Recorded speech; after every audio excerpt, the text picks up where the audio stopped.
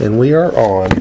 Okay, Father, let's go ahead and, Father, we thank you for this opportunity once again to come before you, sit and learn at your feet, Lord.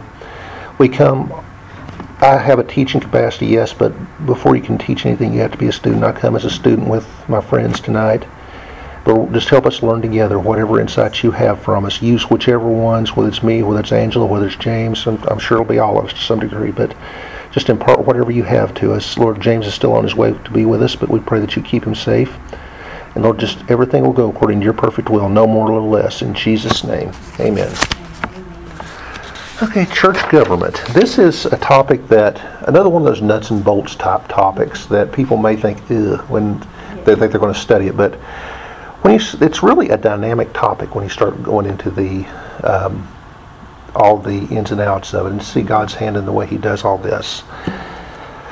The purpose of the church is to meet the needs of people and to teach the Word of God. And I, I taught ministerial ethics to BTC2 last week. Here comes James now. I'm going to put this on hold for a minute. Okay. okay, James has joined us. Say hi, James. Hello. Yeah, the distinguished gentleman. okay. Amen. Welcome. Okay, we're uh, just talking about, we're just starting uh, in with the church government. Um, the purpose of the church is to meet the needs of the people and to teach the Word of God. And one of the things I taught the uh, ministerial, ministerial ethics class last week was uh, if you want to go into ministry for any other reason than to glorify God and help people, then you're doing it for the wrong reason, you know. 1 Corinthians 12, 27 and 28. Now ye are the body of Christ, and members in particular, and God has set some in the church. This is important to remember. The church is not a building. In fact, church buildings didn't even exist for about the first 300 years of Christianity. The church is every born again believer. The church, physically speaking, is just the st- structure that houses the church. I mean, you, we could say, like, you could say, I'm on my way to the church. That's fine. You know, we know what you mean. But actually, the building itself is a building. We're the church. Mm-hmm. It's only the church as much as we're, it's, we're using it for that purpose. Mm-hmm. I mean, if we were to ever be, uh, to relocate somewhere else, I mean, this could very easily become who knows what. It's, it's a brick and mortar and whatever else is- goes beyond building it. But because it's used while we're here to worship God and spread the gospel, it's a church. I wish I had brought that book because that's exactly what the author was talking about. Mhm. Yeah. Oh, good. Mhm. If the church is a supernatural living organism established, empowered, and or created, established, empowered, and led by the Lord Jesus Christ. Okay, if you could look up these two scriptures, Angela, if you want to do Ephesians 1 17 through 23, Okay. and James, you can do Colossians 1 9 through 18. And, Yes, sir. okay?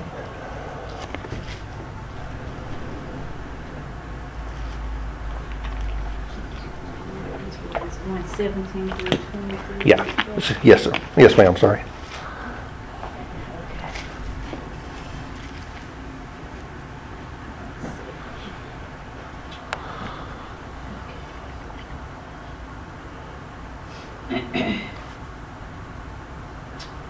And it reads.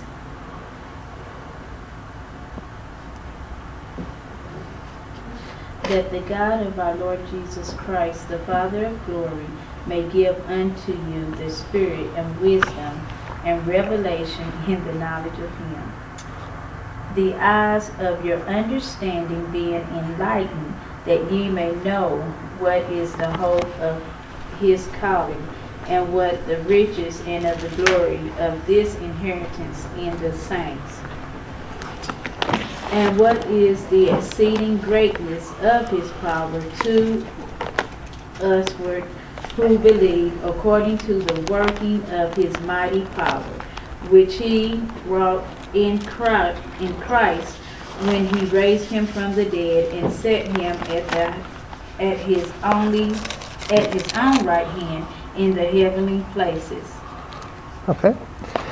And that's a really powerful statement to think that not only has he been seated in heavenly places, but spiritually speaking, we're also there with him. I mean, we will be there fully in person one day. But as far as God God's concerned, we're here now. You ever uh, been going through a bad time? Somebody will say, "Well, keep looking up." Really, a better advice would say, "Keep looking down. You're seated with Jesus, and He's already above that." Amen. I heard Charles. I heard Charles Capps say that one time, and it's always stuck with I me. like that. Okay, James, you want to do the Colossians passage now?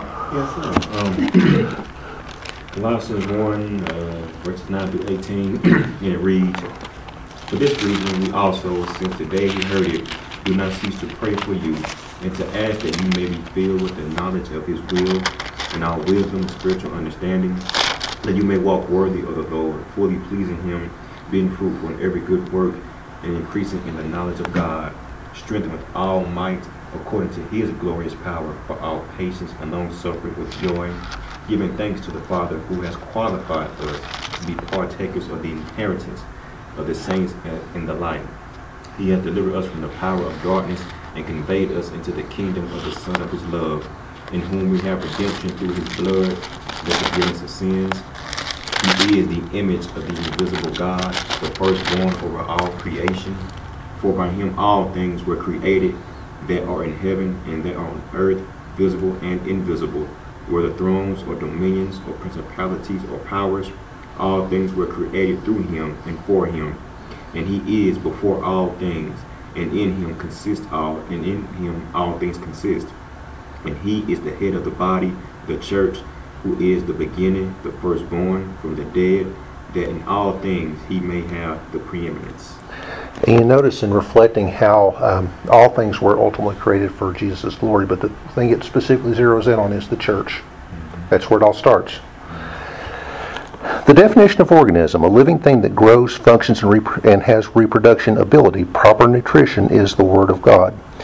And that's, that's important to realize that um, growth, function, and um, reproduction are all an important part of the church. It bothers me a little bit when they hear people say, well, I just want to go to a small church. Mm-hmm. Now, I'm not saying, I mean, our church is not that big yet, but, mm-hmm. and a church has to start somewhere, but somebody who just wants a church to stay small, I think shows a serious lack of vision. I mean, a, a, healthy church has people going out sharing their faith and bringing people in. A healthy church will be a growing church.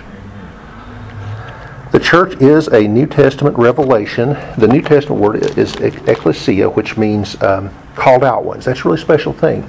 We are God's children called out of the world to be a part of His family. Now, this word ecclesia, you occasionally hear debates come up that I really think are a matter of semantics on exactly when did the church start. Now, the Old Testament saints were described as an ecclesia. They were they were a called out group of people.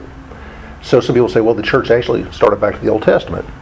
Others say, well, the church started with the um, ministry of Christ because you know Christ called the disciples to be called out from the world. But both of those things are true. You know, so again, you and I, I used to know a pastor that would really get agitated about this. But the most the mo- more traditional and belief is that the church started on the day of Pentecost. And again, which one of those is true? Yes. there was a called out group of people in the Old Testament. Jesus did call a group of people of people out to follow him, and that led up to the formation of the New Testament church at Pentecost. So one of those, none of those things negate the other. You understand what I'm saying? The church is physical, is, spiritual in character, but it is also a human organization, and that's is where a lot of people miss it.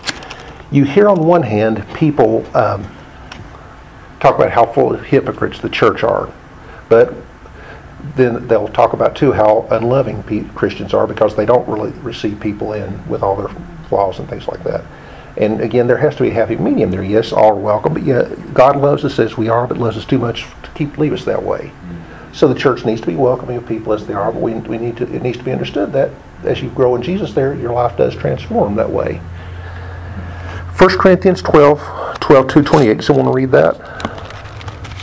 I'll tag team with you guys uh, on the reading tonight if you don't mind, because if I read too much, my, my uh, throat gets dry.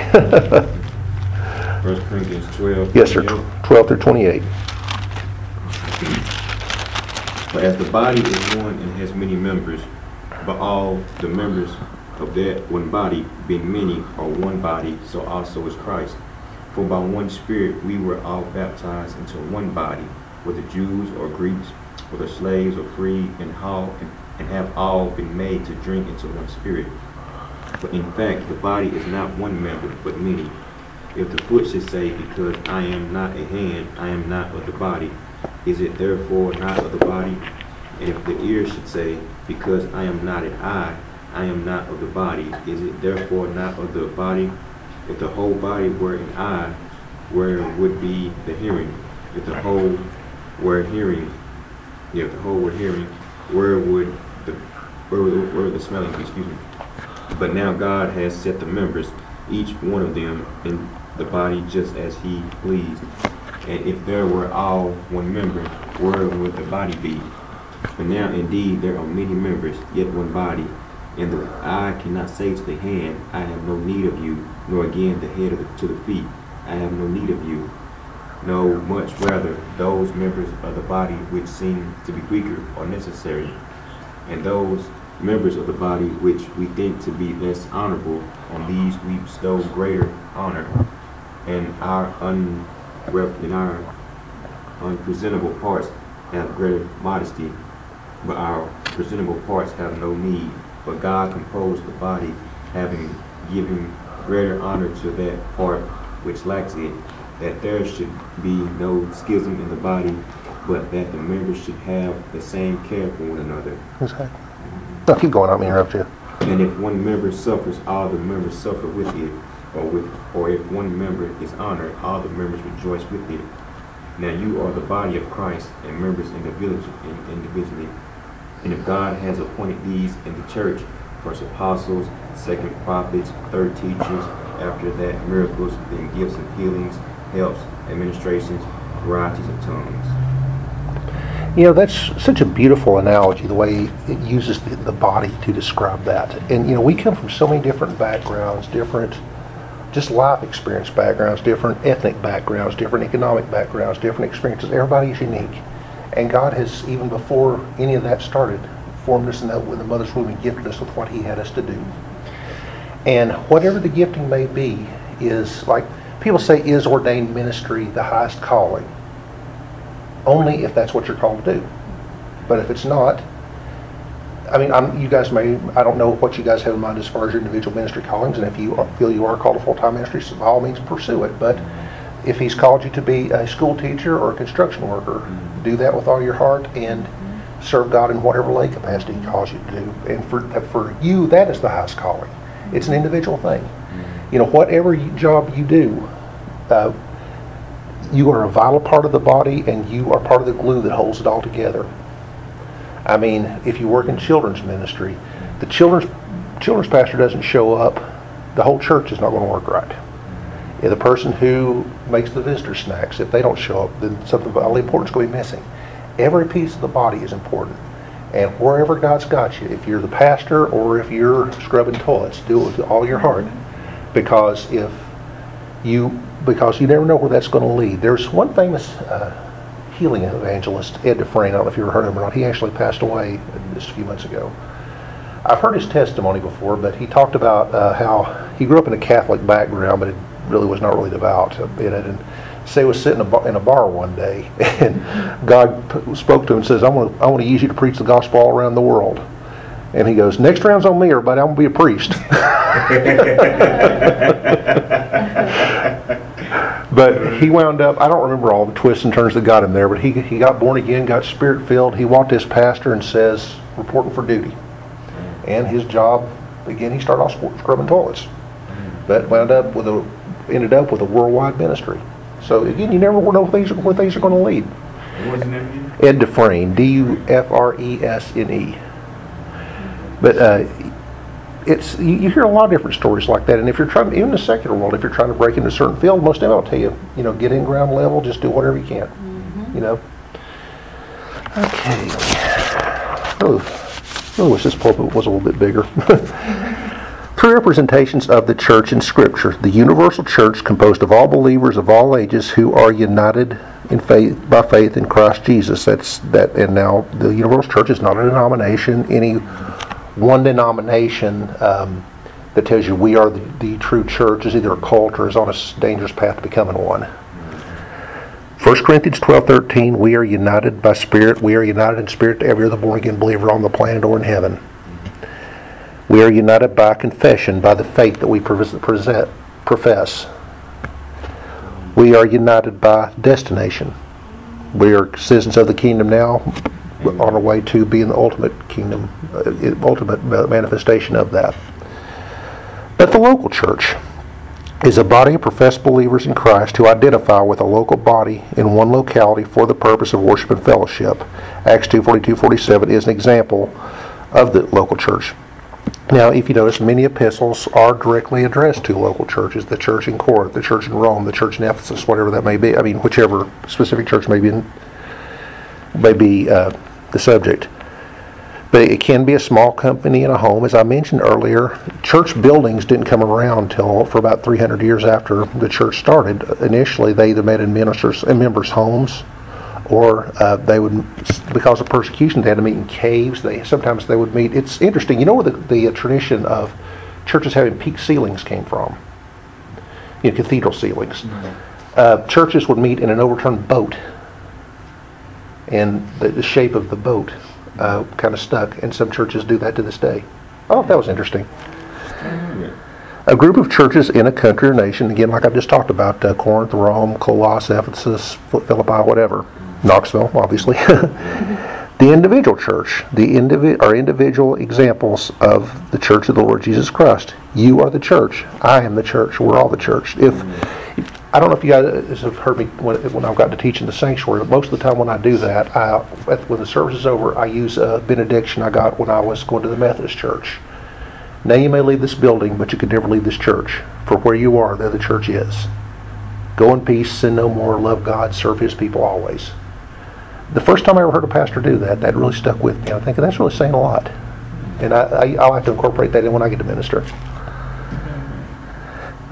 1 Corinthians 12, 27, 28, we've already read that, but the Greek word for church is ekklesia, for the word, uh, from the word ek, ekkaleo, meaning called out of the world. Again, we've already touched on that. Ekkaleo is also translated as the chosen ones. If the church is the called out ones, we must ask, who is calling us? Who is being called? What are we being called out of, I would add. What's the contrast of where we're being called out of and where, we, where are we being called to? 1 Corinthians 12, 28 said, God has set, therefore God is the one doing the calling. Okay, would someone read, look at um, Ephesians 4, verses 8 through 11? And this is a verse we're going to be referring back to a number of times tonight.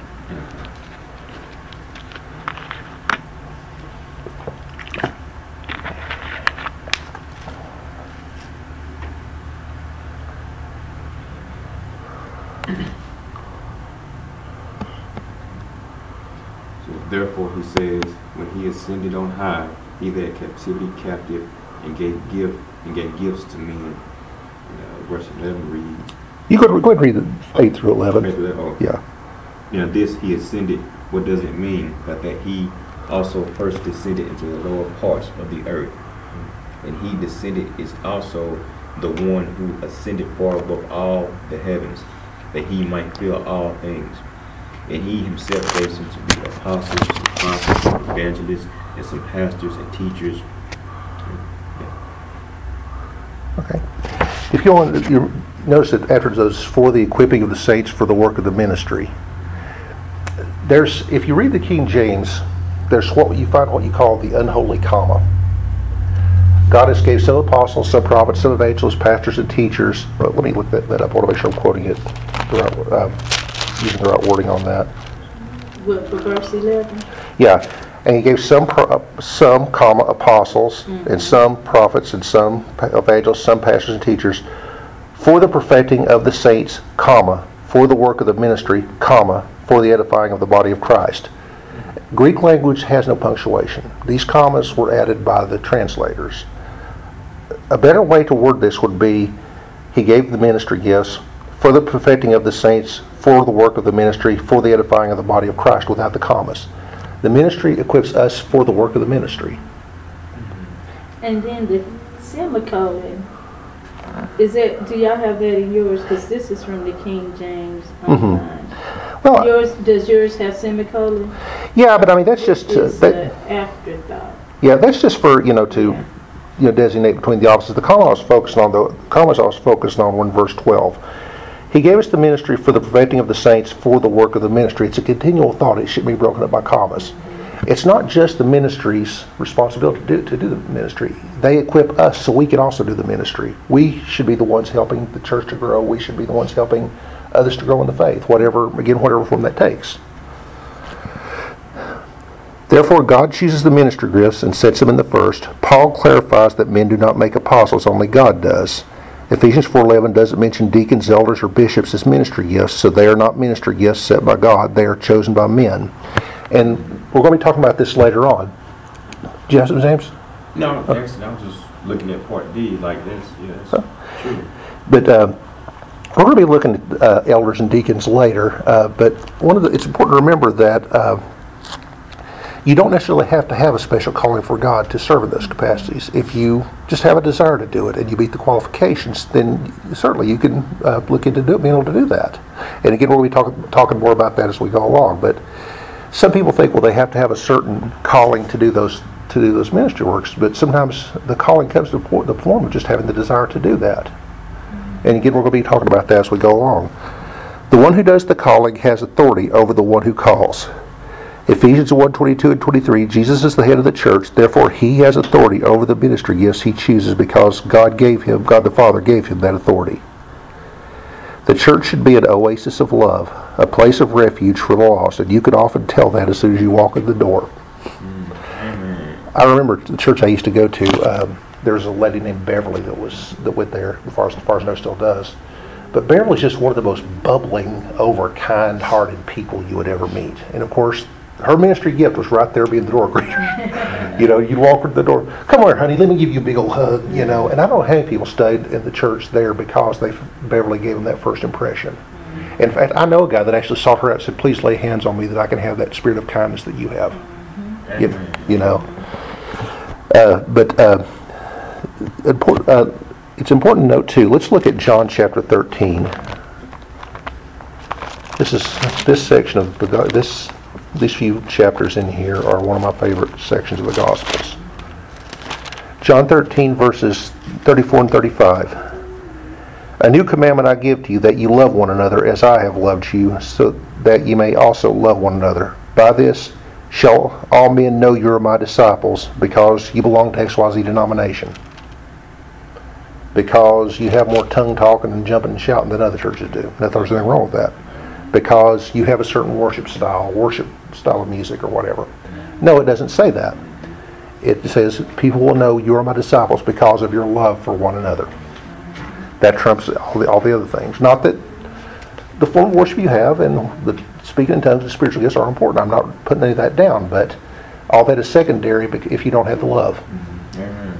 Amen. Um, let's see.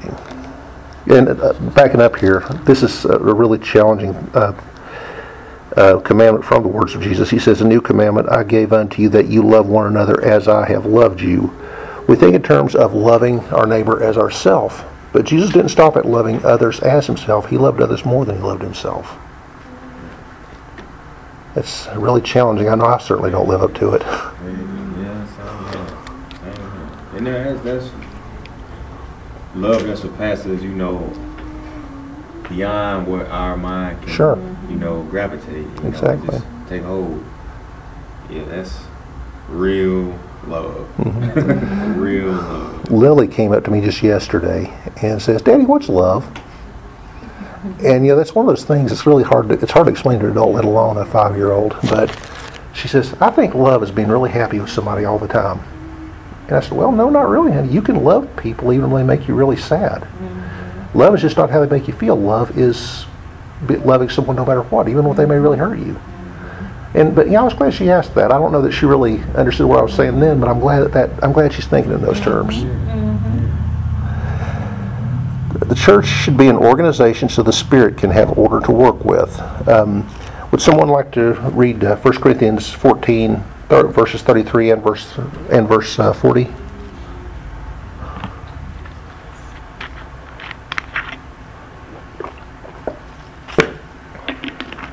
Thirteen, you said? Yeah. No, I'm sorry. Verse chapter 13, verse 33, and then skip to verse 40. Chapter. uh, Yeah. yes.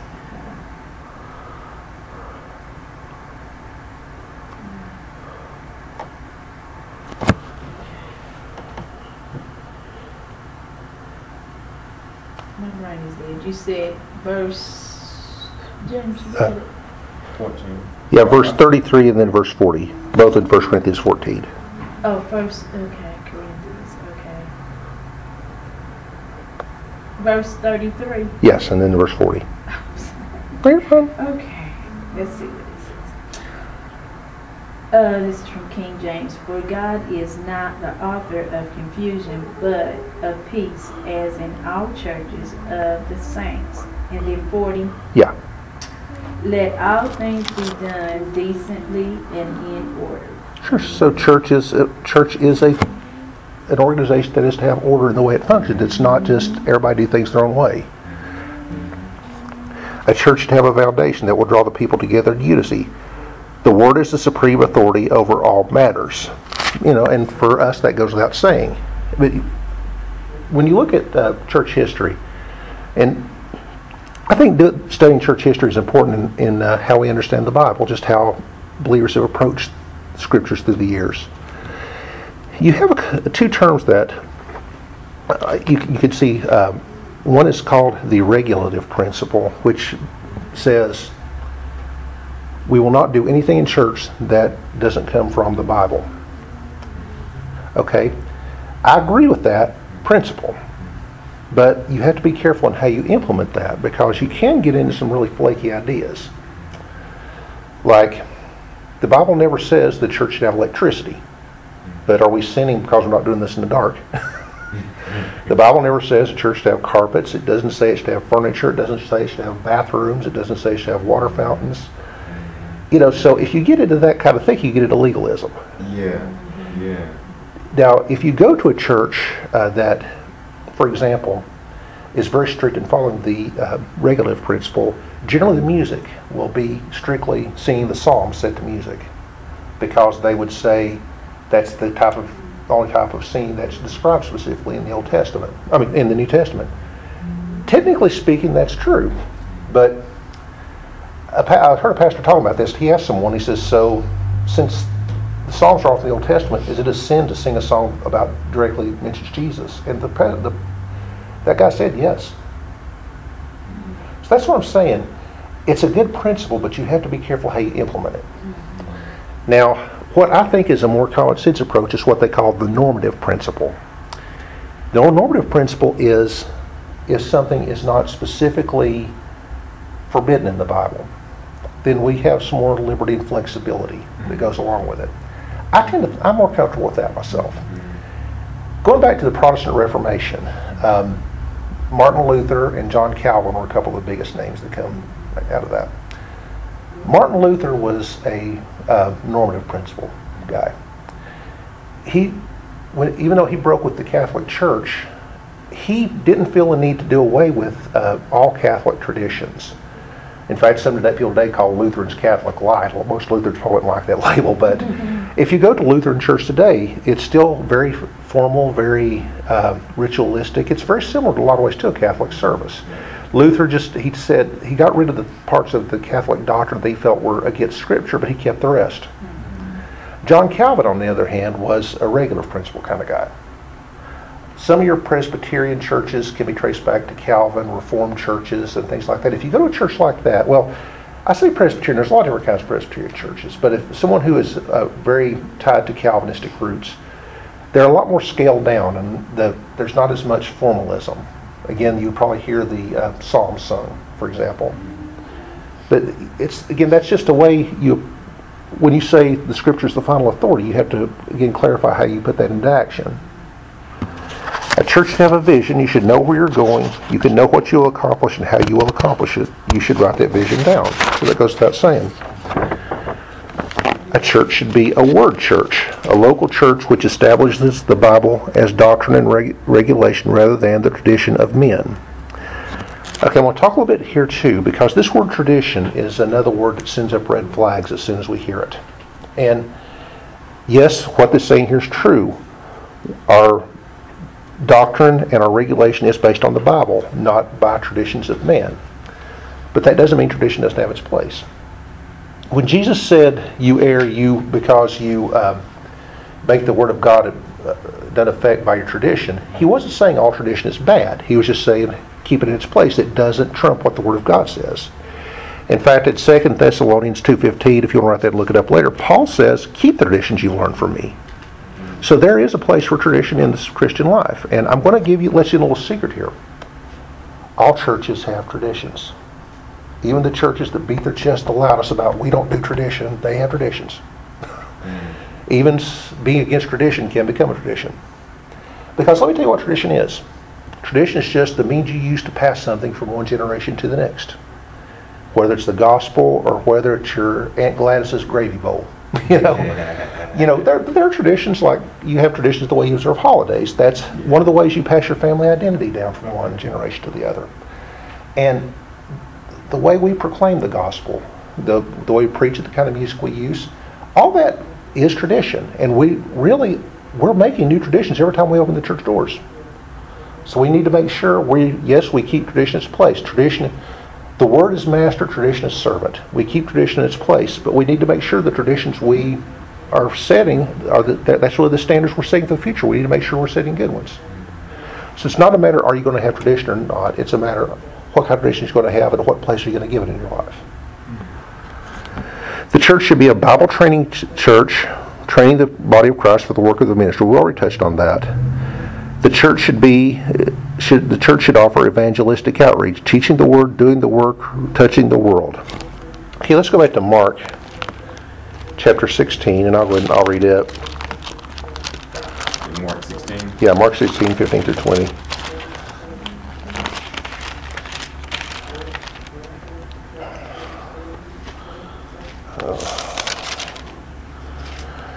And he said, Jesus said, Go ye into all the world and preach the gospel to every creature. He that believeth and is baptized shall be saved, but he that believeth not shall be damned. And these signs shall follow them that believe. And by name they shall cast out devils, they shall speak with new tongues, they shall take up servants. If they drink any deadly thing, it will not hurt them. They will lay hands on the sick, and they will recover. So, then, so then after the Lord had spoken to them, he was received up into heaven and was and sat on the right hand of God. And they, they went forth and preached everywhere, the Lord were he with them, confirming the word with signs following. Amen. So this the Great Commission, the Great Commission. It's the mission is a co-mission that we share with Jesus. The church, his body, is to carry out that gospel to the world. Okay, moving on to section two, government. Government is in Greek kubernesis, definition to steer, guide, pilot, direct, exercise authority. Government is is the continuous exercise of authority over something. It's having authoritative direction and control. Government also establishes moral conduct, behavior, and direct discretion. It is a form or system or rule which is a collection of or, or group of people are to be governed in order to keep them keep order among themselves, provide certain common services, and to protect themselves from attack by hostile countries. Okay, we're going to start getting into some definitions and forms of church government, and I'm going to put a little caveat here. I, you know, I wrote some of the notes, I'm sure, but I didn't write this actual teaching. And to be honest, I don't completely agree with some of the conclusions that this syllabus draws to. And they, it does use some terminology I'm not completely comfortable with. You know, no disrespect to whoever did it, but I will be, I'll clarify things as I feel the need to as we go along. Democracy and theocracy. Democracy is a man rule system, one man, one vote. Theocracy is where God rules. That's true, but it's a little bit simplistic. God's church is not a democracy, true, but that doesn't mean that individual members don't have a voice. You remember when they had to replace Judas with Matthias in Acts 1, the whole church came together, they were involved in that. Uh, in 2 Corinthians 8.23, it talks about how the whole church sent Titus as representative. Mm-hmm. So that doesn't mean that individual members of the church don't have a voice. But to say the church is a theocracy, true. God, Jesus is the head of the church, we recognize that. Mm-hmm. But he is ruling it through human government. Mm-hmm. I think a better word would be representative theocracy. Because, yes, we recognize him as the ruler, we seek his word, his will, in everything we do. But again, we're still human beings, and, you know, we, we, you know, it is possible for us to make mistakes, but we are doing our best to represent the way we can. For, but, you know, for example, when we, when we say we're giving our offerings to God, That doesn't mean that God pulls the roof off the church and sticks his head down into the sanctuary and forced to physically drop it into. I don't know about you, but I'd freak out if I saw that happen. Mm-hmm. But we, he, what we're doing is we're giving our offerings to the, his body, the church, for the leadership to steward on his behalf in doing the work of the ministry. You understand where I'm going? Okay. And, uh, does that sound right to you? I, I just, I felt a need to word that a little bit differently than the outline did. Now, to carry democracy in the church is to to ensure two things will happen. Death will come when you bring man's rule, and failure will come. That's true. You can't, there's no place for politics in church leadership, and that's what taking a vote on everything can turn into. But again, at the same time, that doesn't mean that you don't take into considerations the feelings of the congregation. You know, again, I can't speak. I've never seen this come up at our church, so I, I, I you know, Pastor may feel differently about this. If he does, I'm open to correction. But you know, if you're going to paint the room back here a certain color and say, well, Angela, what color would you like? James, what color would you like? Get people's opinion. I don't have a problem with that. That's, you know, but again, the pastor and the church leadership have the final rule in that, have the final say so. And once the decision is made, then we need to go along with that. You'd be surprised how many churches have had, had some major tension over stuff like that, though. Yeah, That's just, you know, it brings, you know, back division. Exactly. Everything like that when we get into small Exactly. strivings about, you know, fighting over color of the carpet, you know, Exactly. and stuff like So that. you have everything neutral. Exactly. You know, that's, that's something that we don't do in the kingdom, you know. Sure. Exactly. We, we shouldn't. It does happen. Yeah. But, yeah. uh, let's see. Um, forms of church government. Oh, wait. Five reasons we need the gift of government in the church. Matthew 18, 18 through 20. I'm going to back up and read that. For church discipline. This is an area I think we, I personally think we need more teaching on because there's not a good, there- there's not proper, understanding of it. Verily I say to you, whatever you bind on earth shall be bound in heaven, and whatever you loose on earth shall be loosed in heaven. Um, it- Again, I say to you, that if two of you shall agree on earth as touching anything they shall ask, it shall be done to them by my Father which is in heaven. Now, we think of this in terms of binding Satan and getting agreement for our prayers, and there's a place for that, but really the context of this, if you read the whole chapter, is if your brother sins against you, go to him. If, if he won't be, um, if he won't hear you, take two or more witnesses. If he still won't listen, take him to, take him before the church. It's the whole, the context of it is a- an incident of church discipline when necessary. It's similar to in uh, the Corinthian church where the man was having the affair with his mother-in-law and Paul had to say, deliver this man to Satan. And, but of course, it, the man did repent and come back. But it leads up to if this, verse 17, if this is after all the other steps have been gone through, if he neglect to hear them, tell it to the church. But if he neglect to hear the church, let him be unto thee as a heathen man, a, a publican, or a tax collector, which is on par with being a heathen. but uh, that this is the same thing. It's when to, to, to turn someone over to Satan means to cut him off from the church and from the blessing that goes along with that. Mm-hmm. You want to live for the devil? Go out, let the devil kick him around a little bit and see how he likes it. And in the when the man in the Corinthian church, that's what brought him back to repentance. And when he did, it wasn't a matter of prolonging. As Paul says, receive him back as a brother now. Mm-hmm. It's not to be mean. The person's given every opportunity to repent. But it goes back to, um, uh, well, churches are just full of hypocrites. If this was practiced consistently, you wouldn't have that problem so much. But when people, when churches do take proper disciplinary measures, they come across as being, well, churches are judgmental and churches are unloving. No, if this is done right, that's the most loving thing you can do. You're stopping a person from going to, going to hell. That's the most loving, compassionate thing you can do. Okay, forms of church government, the gray area, and I'm glad, I'm glad it used this term. Because of the gray area of church government involves the office of deacons, elders, and bishops, and who chooses them. Note the different types of polity government structures. Remember, schisms happen when there's disagreement, division, no harmony, split. Division, noble organized groups, sects, parties formed by splits resulting of different opinions and doctrines. Okay. Um, something I'm going to, I want you to notice as we look over these is most of these groups will, will, can give you scriptural reasons why they have the form of government they do. Like the ones that have plurality of elders can show you scripture that they feel supports that. Churches that have one pastor as the overall head of the church. Can give you scriptural reason to support that? Now, someone could just say, well, this is the Bible way to do it. Yes and no. When you uh, study the Bible, there you can divide the Bible into two different categories: prescriptive and descriptive. A prescriptive part of the Bible would be telling you that this is how something is to be done in all cases, and there are a lot of, a lot of the Bible that is that. Descriptive means it's describing something that happens, but that's not necessarily prescribing that's how it should be done. For example, the Bible describes Job's wife telling him to curse God and die. Obviously, that's not something it's prescribing for us to do. now, in some cases, there are prescriptive passages about how the church is to be governed, and that is something we're to follow.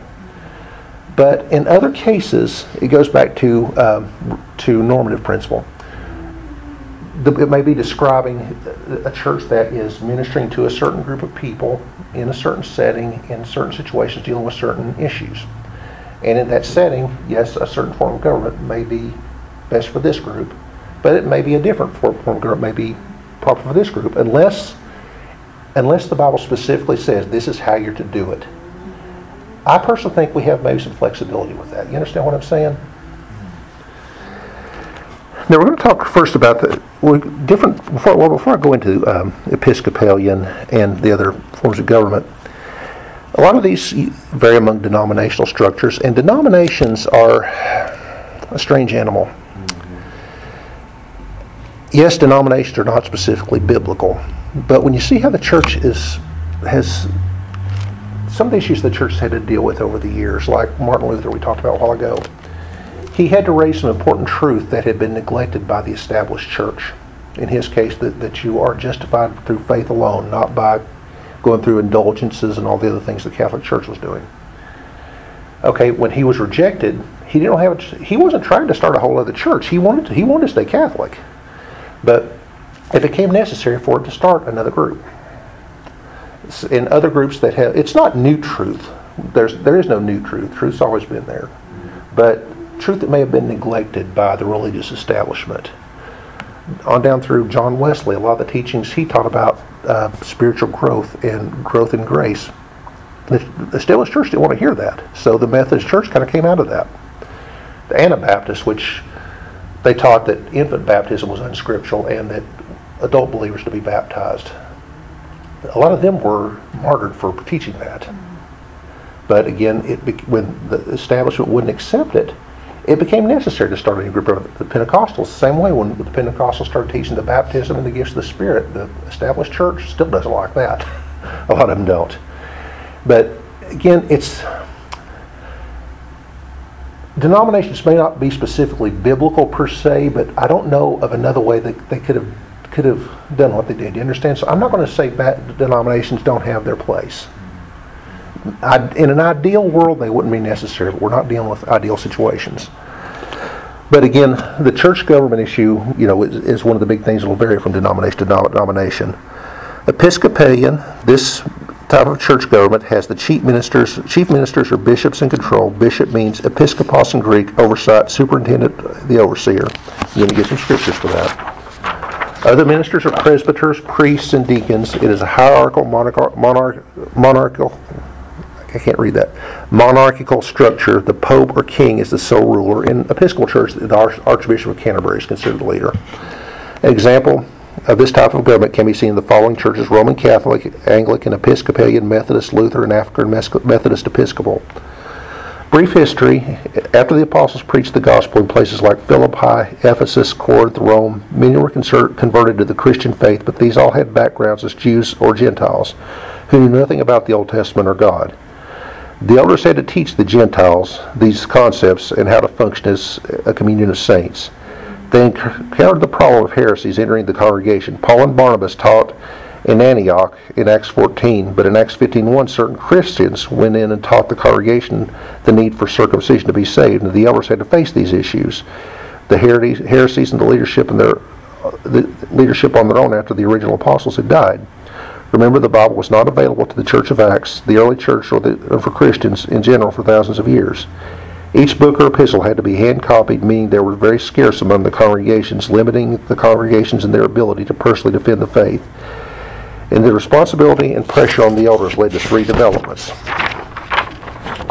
The elders were elevated above the laity of the congregation. The more gifted, educated elders became leaders above other elders.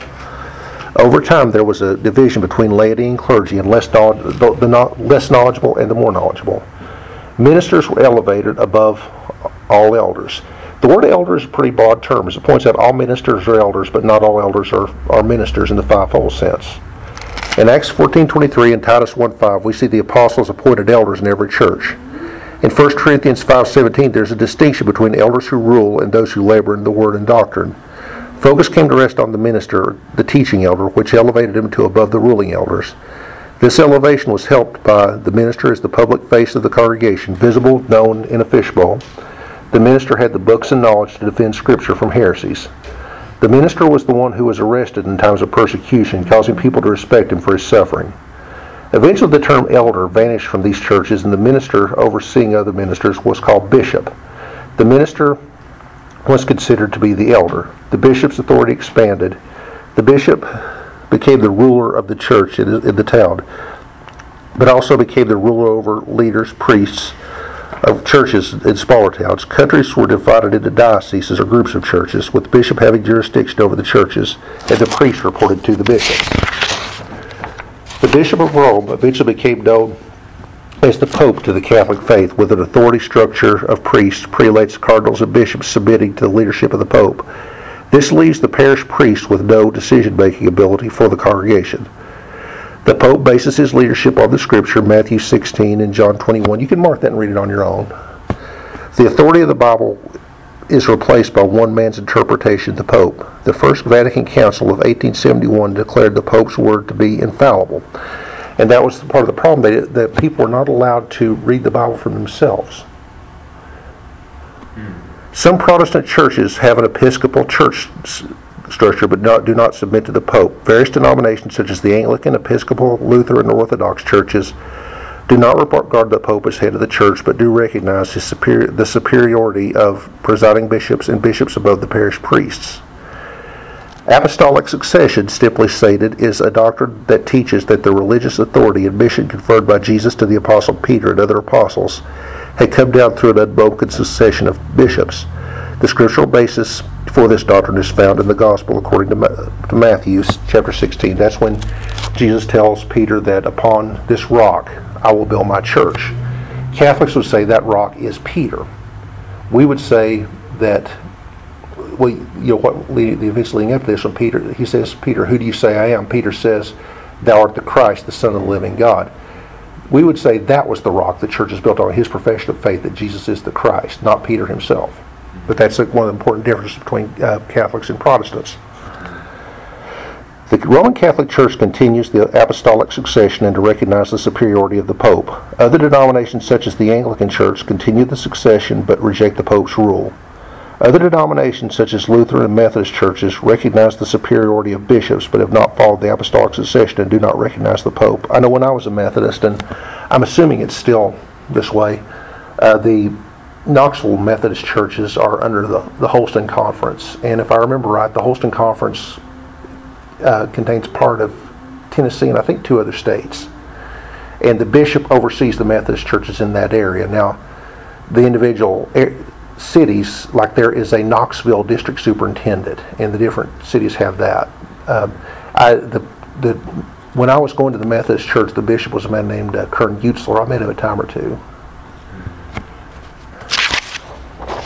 Presbyterian. The elders presbyters are in charge of the church. The elder board, usually considering of three, seven, or twelve men, makes every decision of the church. The elder board is superior to the pastor, or they have equal authority with the pastor. Thus, the pastor has little or no actual authority. He is there to minister the word only, but has no authority to lead the church. Example of the Presbyterian government are seen in the Presbyterian Reformed. It says Pentecostal. Some Pentecostal churches, but not all, have that form of government. Holiness, Friends, Mennonites, and many non-denominational churches. Presbyterians hold that both the Old and New Testament reveal the church rule is to be by the elders. Exodus 3.16, God instructs Moses to assemble together the elders. And you see other scriptural um, references you can study on your own. Therefore, Presbyterian church government cont- contests that apostles were not seeking new structure, but were building on the known foundation. Martin Bucer and John Calvin and John Calvin worked to develop this polity, believing this was scripturally and historically accurate. They believe Christ is the head of the church and that he rules by the office of all believers, specifically through the elders. They said that Christ assigned this task of teaching and preaching to the elders. Preaching and church discipline are the two keys that open and close the kingdom of heaven, and while the power of these two keys is given to the congregation, Matthew 18:17, which we just read, is to be exercised by the elders. And then again, there's some other um, there's some other scriptures you can uh, study. Want to take time to look to. 1 Timothy 5:17, Presbyterians believe that the ruling elders have the decision-making power, not the minister. The Presbyterian form of government was not as successful in Geneva under Calvin's rule as it was in France, Germany, Netherlands, and Scotland. Calvinists, Calvin's foundation for the Reformed or Presbyterian Church recognized the fourfold ministry pastor, doctor, teacher, deacon, and elder. And one of the problems with the way that Calvin's group uh, was um, doing things in Europe is sometimes there tended to be too much interaction with the local government and getting that done. It was, I think, too much connection between church and state, and in that case and other times since then, it has a history of getting people burned at the stake. So, obviously, not something that that's not that was not a very bright period in church history. So it seemed like back then, it's a lot of division and strife. you Sure. know, Causing people, like you said, get burned to the Sure. stake. Oh, yeah, it was- All that, you know, bickering and, you know, going back and forth about, oh, this is what we're doing, this is what we're doing, and there's no common ground, there's Sure. no, you know, one accord, no Sure. common accord, so. Yeah, it, it can. I mean, religion is the most dangerous thing there is. So, so, so, so. I mean, you think about today, how much, how many of the wars in the world now could be traced back to that? Yeah. Mm-hmm. You know, I mean, it's a matter that yes, we're to be passionate after the truth. We have to be humble enough to admit we don't know it all. You know? Amen, amen, mm-hmm. amen, amen. Presbyterian churches are independent of each other, but they are connected by the same form of government. The local congregation elects its session, which governs its affairs. The teaching elder is chosen and chosen by the congregation and leads the session. The teaching elder is ordained by the presbytery. The presbytery consists of teaching and ruling elders from a group of congregations over which it exercises its jurisdictions. Above the presbytery is the General Assembly. Because of this, the plurality of elders and rulership, they believe that there is no room for dictatorship and that no one individual makes all the binding decisions of the church. Again, I can see the concern there. I've, I've seen I've seen it happen. I, I have a friend here in town that was going to a church that had been there for a long time, and the pastor just sold the church property out from under the church. So, to have some accountability there is wise, you know. And we'll, we'll be talking more about all those lines as we go.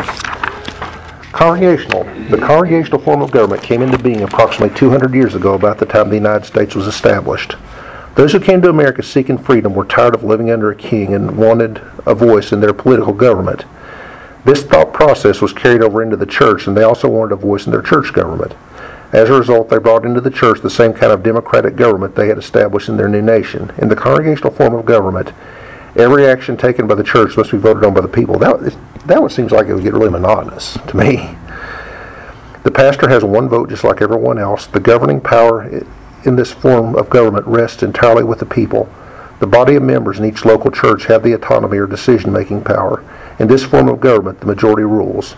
Some examples are Baptist Assembly of God, Church of God, Christ, and Congregationalist churches. Modern Congregationalism began in the the 1500s in England with John Wycliffe and his followers called the Lollards, who assembled together in the woods to hear the Bible read in their own language, not Latin. When the progressive, progressing Reformation movement, people began to push for more forms of the church. By 1597, people were meeting separately from the Church of England. Many of these meetings were stopped and the people were arrested for illegal religious worship. Again, goes back to what we were just talking about. They were called separatists. Many were martyred, hung, and died in prison for the worship. In 1620, some of the separatists who had fled, fled to Holland sailed to New England in the Mayflower. These were the Pilgrims. They established the Congregationalist Church in the New England, which grew as more Pilgrims came to the country. While the separatists separated from the church, the Puritans attempted to reform it from within to purify it. During the English Civil War, the Westminster Confession of Faith was produced, which remains today as the declaration of Reformed faith for both Presbyterians and Congregationalists. Congregationalists hold that Christ is the head of the church and that all are priests, and that's true. Each church is separate in its own body and not subject to bishops or elders. The churches are run by the church boards or committees made up of members of the congregation. The congregation and the pastor vote on all issues and actions of the church. Repave the parking lot, hire a secretary, purchase a new piano, etc. In some Baptist churches, deacons are often a ruling body of the church. An annual meeting is held to involve the entire congregation, which can occasionally get verbal and or physical. Now, I have a good friend who is a deacon in a large Baptist church, and he's told me some more stories. you know, it, it does happen. He told me one time they were going to have a meeting on something they expected to be um, controversial, and he said he's going to call the WWE and get a send some announcers down to cover the action. I mean, I laughed. That was not funny, but the way he said it was humorous. In, in independent, in the independent form of government, the pastor is given complete charge of the church. It's governed much like a corporate business. The pastor is like the president, and the assistant pastors, elders in some churches, are like vice presidents. The pastor is likened to the CEO or president. Again, I don't like that analogy because I don't like thinking of our pastor, or any pastor, as being Donald Trump. the assistant pastors is likened to the vice president. De- directors, department heads, overdeacons, choir ushers, sound ministers, administration are likened to managers. There's only one head of the organization, the pastor. In the independent form of government, the pastor holds the autonomy or decision making authority, and there are also lower levels of authority under him or helps ministry. In James 5.14, we're familiar with that um, passage. The elders, the sick are to call for the elders of the church. You know, it says elders, uh, elders plural and church singular. There can be several elders in any one church. The pastor calls and appoints the elders or assistant ministers. Notice that the elders are the one going to the sick to minister to them. Thus, they are, are, ministers appointed by the pastor to do the job function, allowing the pastor to pray and study the word. They're an extension of the pastor's ministry, and we're going to be talking about that a little bit more as we go. The independent form of government began the book of Acts when Paul, Peter, John, Silas, and Barnabas established churches independent of Jewish sects. And there's other scriptures you can read on your own. Some of the analogies here God created the family and church for one man rule. God's formula in the church is the same one God, one man, no confusion. That's true, but again, we are talking about a fallible human being, and there have been a lot of cases of abuse there, you know. God's formula does not produce a lack of accountability. Although one man is responsible, he, the pastor, is accountable to God. Again, I don't believe our pastor would agree with that because he's talked just recently about you know, how he's accountable to Pastor Coles in Nashville and Bishop Butler. You know, so there's account there's accountability in his office, mm-hmm. and to just say, well, I'm accountable to God, so again, like the man who sold the church out from under his people, that's you're you're setting yourself up for some problems if you think that way. Whatever applies to the universal church also applies to the local church because the pastor holds the same position in the local church that Jesus does in the universal church again, I think that's saying more than Scripture actually does. Yes, the pastor is an under shepherded, but to say, like, we worship Jesus, we don't worship the pastor. Jesus is perfect, the pastors are not. You know, all we ministers, our heart is to serve God, but we can make mistakes like anyone else can. Husband, wife, Christ church, head body. Christ is the head of the universal church. Marriage, husband is head of the marriage and has responsibility of the authority human body. Head is the control center of the body. Body doesn't function without the head. That's true. God's design is one, has one source of authority. The universal church has one head. Marriage has one head. Body has one head. But you know, in fairness to um, to the outline, it does talk here about the strengths and weaknesses of that form, like any other form of government. Six advantages of having an independent form of government. It allows the church, local church the freedom to determine its own responsibility toward the plans and programs of the pastor. It allows the local church to ascertain the will of God for itself and to fill its supernatural responsibility. It allows the individual members and the pastor freedom to receive instruction from the Word of God rather than individuals not going through the priest. It releases the local church from bondage from outside sources that would violate God's Word. It gives the local church the freedom to ordain men and women for ministry and mission field, and it gives the church freedom to set up its own doctrinal standards according to Scripture. Disadvantage of, of the independent form of government. If the pastor fails or falls, the church scatters unless a system of checks and balances are in place. The church may isolate itself from the Word and, and will, will of God and other churches to the point of becoming close to a cult. That's especially dangerous now because of media ministry.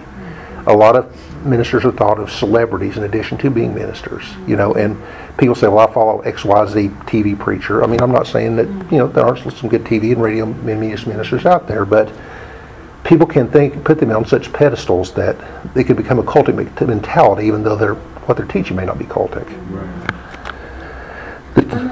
Go ahead.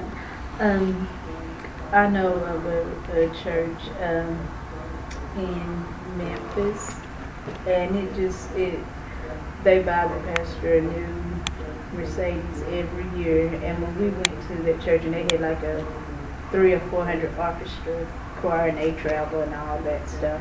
But what threw me was the pastor had a telephone up in the pulpit. And what could be so important that you're preaching the word and you're going to stop and answer the phone? Yeah. Do you ever do that?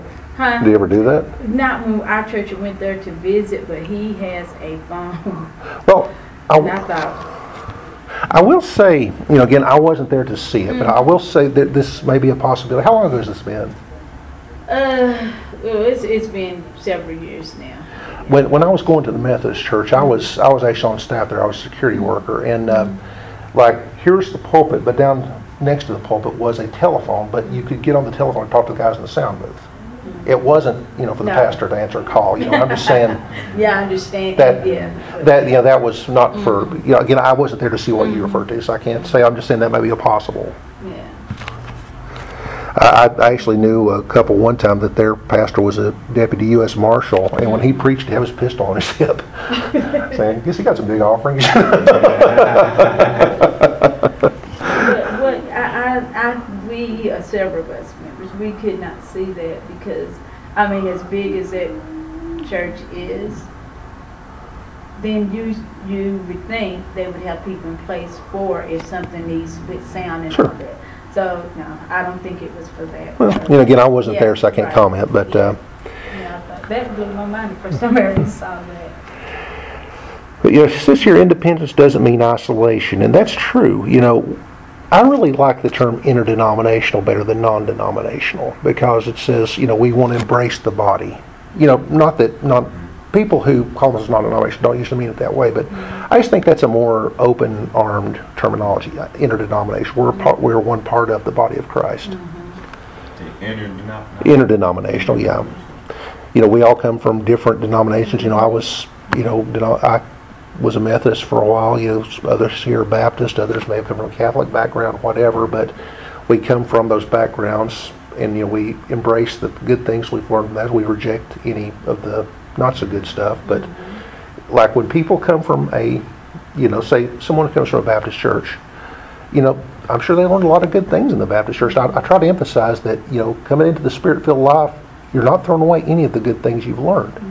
We, you know, we all have some things we have to unlearn. I'm still unlearning some things. But don't discount the truth someone may have, like, we talked about how some of the denominations came into being because they were standing for truth that the established religious body wasn't accepting. And we owe them respect as forefathers in that. Like, my Baptist friends generally have very strong commitment to the Word of God, are very passionate about evangelism, are very strong about taking a stand for moral issues. That's great. I have a Catholic friend who, um, you know, we've discussed some some of our doctrinal differences before, but when it came down to, she read me something she wrote one time about um, how it was the blood of Jesus Christ that washed her sin away, and it was His resurrection that sealed her hope of eternal life. And I think, what could I add to that? I mean, that's the gospel. And she, if that's what she, if that's where she is, she's as born again as I am. And she's, um, you know, her commitment to the church, you know, going to mass every day. Obviously, I don't agree with all the symbolism to the mass, but her commitment to being a part of the body is admirable, I mm-hmm. think. And you could say that, you know, Pentecostals, I consider myself Pentecostal still. You know, that I've learned a lot of important truth into that. Mm-hmm. So, you know, yes, when we come into this, whatever background we come, yes, there are going to be some traditions we have to unlearn, but keep the good things you've learned. Don't, mm-hmm. don't, if you come from a godly background, whatever branch that is, don't look down on it, you know. And then, and, and uh, like, I wish Sarita was here to hear you say that because with the different people, um, that she's kind came in contact with with her schooling, and that's what she talks about Mhm. too, so, yeah. Well, you know. I've had a lot of really good discussions with Catholics. Mhm. And there was, um, have you ever been to an Orthodox church? Have you ever been maybe to Greek Fest here? You know, the buildings, I've never actually been to a worship service in, a, in an Orthodox church, but the buildings are, and the art and things are just gorgeous. And I was talking to a man, a, an Orthodox man about that. I said, yeah, I, I really like the, your use of visuals. He goes, yeah, I hate to go to church with plain walls. and when you think about it, the worship in the temple in the Old Testament, it was designed to engage all five senses. There was the beauty of the way it was built, there was the sound of the music, the smell of the incense. Mm-hmm. It was to engage the whole whole person in worship, and I think that's something we, we need to get back to. Bishops, elders, and deacons in independent churches, different churches will have different roles for each. Again, unless it's something the Bible specifically says is to be done a certain way, they have flexibility with that. Bishops, the Greek word for bishop is episkopos, meaning overseer, and bishops are pastors who oversee elders or other pastors. Okay, okay we're going to take a break here, and then we will get into, when we come back, we're going to um, start talking about the qualifications for ministry offices and what it takes to to be a part of that. What time is it, someone? I don't, It's seven fifty-six. 7:56. Okay, let's come back at 8:10. And I'll put us, and we are back. Okay, when we left, we were talking about uh, what bishops were, and we're going to talk now about the qualifications for bishops and church leaders in general. We'll be discussing some of the differences, uh, some of the distinctions with that as we go along. Bishops are pastors called by God who are appointed to be a bishop by man. Okay, before we go into the qualifications for um, church leaders, these are the things God expects from a church leader are nothing that He doesn't expect from a layperson too. Remember what Paul said about "Follow me as I follow Christ." He said that to all believers. So, anything anything that God calls a church leader to be, He calls every Christian to be. But there's more at stake when the person is in a position of leadership. Mm-hmm. Okay. Does someone want to turn to Titus chapter 1, verses 5 through 9? These two passages say basically the same thing, but since that was listed first, we'll go with that. Titus one, five through nine. Yes. Okay, I'll take it.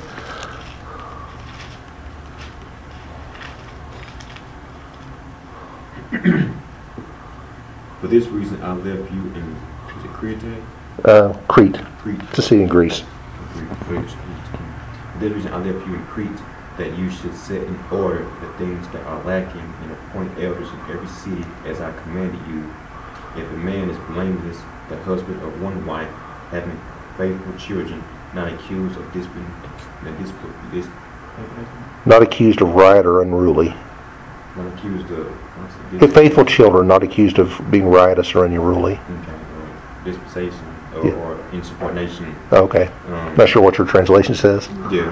Um, for a bishop must be blameless as a steward of God, not self-willed, not quick-tempered, not given to wine, not violent, not greedy for money, but hospitable, a lover of what is good, sober-minded, just, holy, self-controlled, holding one through five through nine Yeah. um, holding fast the faithful word as he has been taught, that he may be able by sound doctrine both to exhort and convict those who contradict. Yeah. Okay. Let's go ahead and do both of them. Uh, Angela, you want to take go back to 1 Timothy chapter 3 and do 1 through 7? This, they, they say basically the same thing, but they're worded a little bit differently, so I want us to hit both. This is, this is a true saying, if a man desire the office of bishop, he desireth a good work. A bishop then must be blameless, the husband of one wife, vigor, Vil- Vigilant. Vigilant. vigilant, sober, of good behavior, given to hospitality, apt to teach, not not given to wine nor striker, not greedy, a filthy lurch. How you pronounce it? Lucre, not somebody that's Lucre. not after for money. Mhm. But patient, not a brawler nor covetous, Covetous. covetous. One that ruleth well his own house, having his children in subjection with all gravity.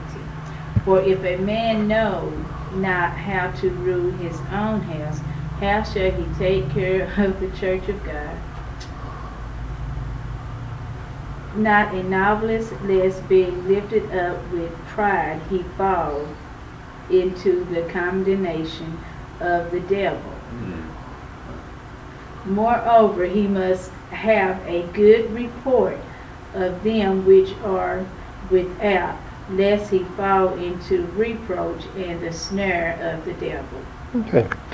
We're going to take, take a look at these qualifications one by one, and I'll give you a little insight into the, into them. Number one, their qualification is to be blameless. Now, that's a pretty loaded word. That doesn't mean you're perfect, but it does mean you're a person of consistently godly character. You know, you're a person who can say, follow me as I follow Christ. You have a safe example for people to follow. One way you can look at you, the same person on Saturday night you're on Sunday morning. not given to wine, s- not a drunkard. I personally would encourage you not to drink at all. I'm not saying that lightning's going to strike you if you have a beer or a glass of wine, but a I've always looked at it if as you're not going to become an alcoholic if you don't take the first one. You see all the crime and all the poverty of the world that goes back to alcohol and other drug abuse. I think the best way to be a solution is just to make double sure you don't become part of the problem. And plus, you've got to take into consideration, even if it doesn't affect you that way, if you're going to be ministering to people, you probably are going to be ministering to people who are do have substance problems, and you want to make sure that you're setting the kind of example. You can't do a Charles Barkley. You are a role model, Yeah. and people are going to look to uh, well, Pastor James, Pastor Angela, whatever you guys want to be, are planning to be, does this, so why shouldn't I do it too? You know, so you have to be really careful about that. Yeah, that is something because uh, I know of a church that, you know, well, if they do both, they have they serve wine and grape juice. Yeah, and I've heard of churches that do that too. That they fit, their conviction is they should use wine, but if people have alcoholics are, are alcoholics or maybe have a conviction against drinking alcohol, they'll offer that as an alternative. Yeah, and they ask him to come down front and see it. And then for one thing, you're calling that person out, Yeah, know. but the thing is, even in, in Jesus' day, um, you can debate was the kind of wine they drank alcoholic wine. The word oinos, that is a general term, can really refer to grape juice at any point. Um, so, uh, like when Jesus turned the water into wine, I tend to think that was probably just a very rich, non-fermented grape juice. But that's not to say they didn't use unfermented wine. But the thing is, in that day, clean water was very hard to come by. And what they would do is they would take the wine and dilute it down with several parts of water, and um, it would that really served two purposes. The wine would be an anesthetic to to purify the water, but the water would dilute the wine down to keep from getting drunk. And could you get drunk from drinking it? Yeah, but uh, your bladder would have something to say about before you got to that point. I'll just say that, you know. But you, again, it goes back to, again to the kind of example you want to set as a representative of Christ. Uh, I shared this. I, I actually talked about this with BTC uh, two last week. Charles Spurgeon, who's one of my heroes in the faith, you've heard me quoted many times. He smoked cigars, and you know, in his day, you know, the use of tobacco wasn't the harmful effects of it wasn't considered wasn't as widely known as it is now. But it still was frustrating to people, and you know, he was open about it. It wasn't something he tried to hide. He didn't consider it a sin, but. Um, it was. It, it became difficult for people who would discourage their kids from smoking. They'd be like, "Well, our pastor smokes. Why shouldn't I?" So that's the kind of thing you want to avoid. You know, not greedy of filthy lucre, not greedy for money. And then, if that was applied consistently, there's a lot of big name ministries who'll go out of business tomorrow. That's true. The husband of one wife. This is one that gets into some controversy. This, like, there are churches, for example, that wouldn't let me serve in leadership because I've been divorced. this, you know, they should say this means you've been married to the same woman on consistently the rest of your life, I, and ideally that's true, but really that's not what it's talking about. It's the Greek word means a one-woman man. If you are married, then you're faithful to your spouse.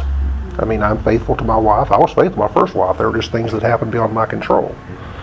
But you can, but if this was considered a prescriptive thing for every case, Paul himself would be qualified because he was single.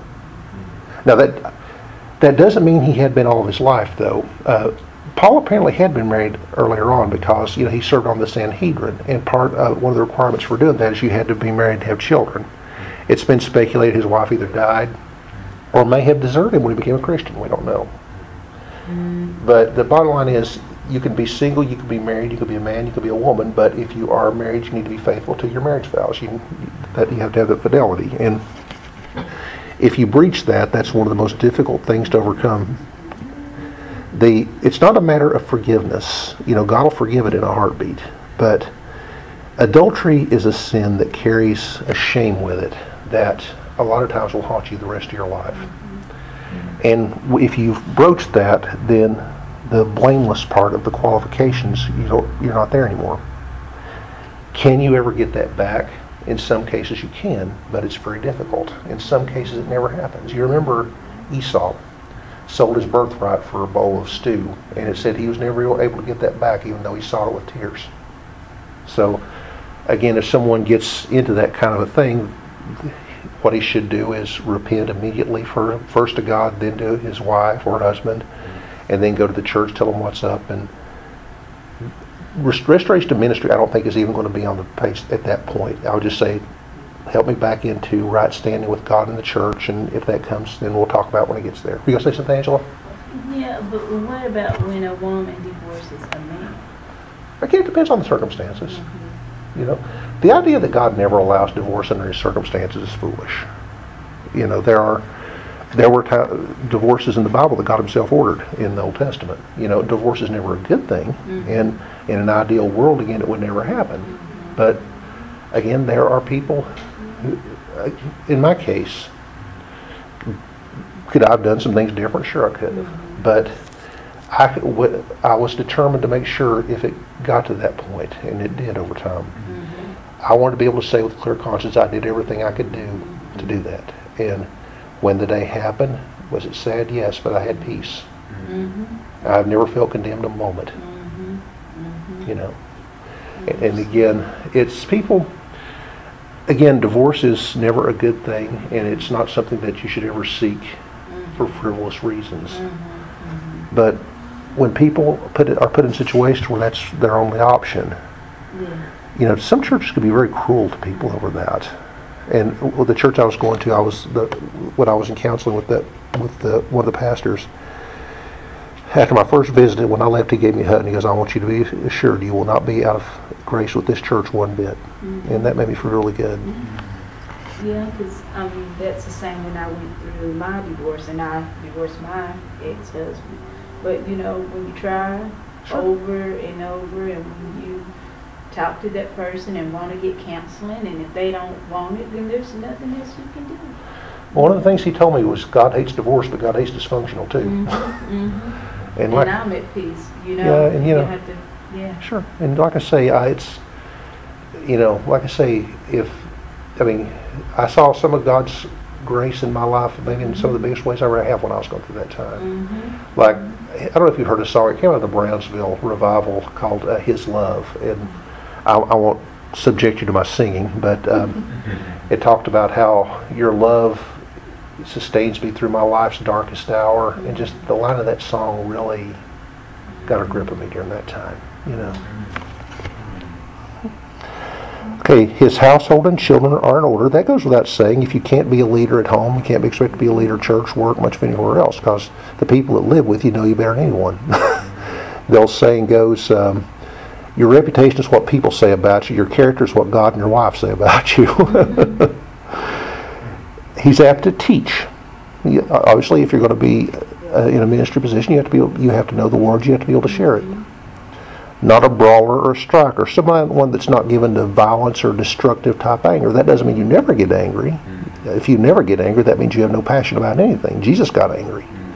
but you don't. Again, it's not a it's not a selfish type anger, and it's not an anger that leads you to do stupid things. Godly behavior, again, that goes without saying, given to hospitality. He's kind to people, he helps people, he receives people into his home. Or she, you know, I'm using he in a general term. He has a good report. Again, he's a person who has a good reputation.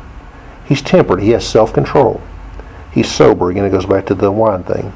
He's patient. He's not a novice. Obviously, this is not something a, a, new believer should do because you have to have training and seasoning to be able to do this. Mm-hmm.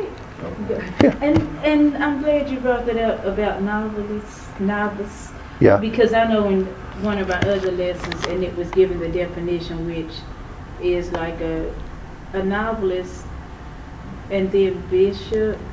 Gosh, let me get this right. Because I took notes on it because it's okay, a bishop is is supposed to be with age, correct? Elders. Well, or, I mean, elder is not so much a description of age as it is maturity. I mean, a, a person may be young in age. Timothy, you let no man despise your youth. He was a young man, but he was an elder in the faith. You understand what I mean? I do, and I, I just know someone, and I was just shocked to find out that they're now a bishop. And so when I, yeah, younger than me. I mean, I'm talking, and that that just threw me because when they were doing the announcement and said his name on the radio, and I was just because I asked my girlfriend about, it, and I said, but when I'm looking at this, because it, it's in our Bible study, one of our other classes, and it was given the the uh, definition of bishop and all that. And I thought I was just like, but he's younger than than me. Well, you know, again, not. I think people get caught up because I, I mean, I know this individual really well, and he has changed from, you know, the worldly thing, and he is preaching and has has a church. But that just really, you know, that threw me to well, find out. Yeah, I was like at that age because I know what I had been studying, so mm-hmm. I, I, was just like, okay, so how is that? Because when I study the word and see that it says, you know, this. Well, again, you know, I would need to know more about the situation to be able to mm-hmm. comment. But um, I'll give you an example from my life. I, I used to work with a guy that was late teens, early 20s, young guy, and he just burst through the door and he says, James, I got saved yesterday. Of course, you know, that's happy anytime you hear it. Mm-hmm. You know, and he was really on fire, seemed to be, you know, and I went, you know, one time he came to work late because he was witnessing to a girl on the bus and didn't want to leave it, you know. But short time after that, he started, say he started, this was back when chat boards on the internet were the thing, you know, and he said he started a Christian chat room, and I said, well, that's good. And he started, but then he started saying, well, I'm their pastor. Uh, no, no, no.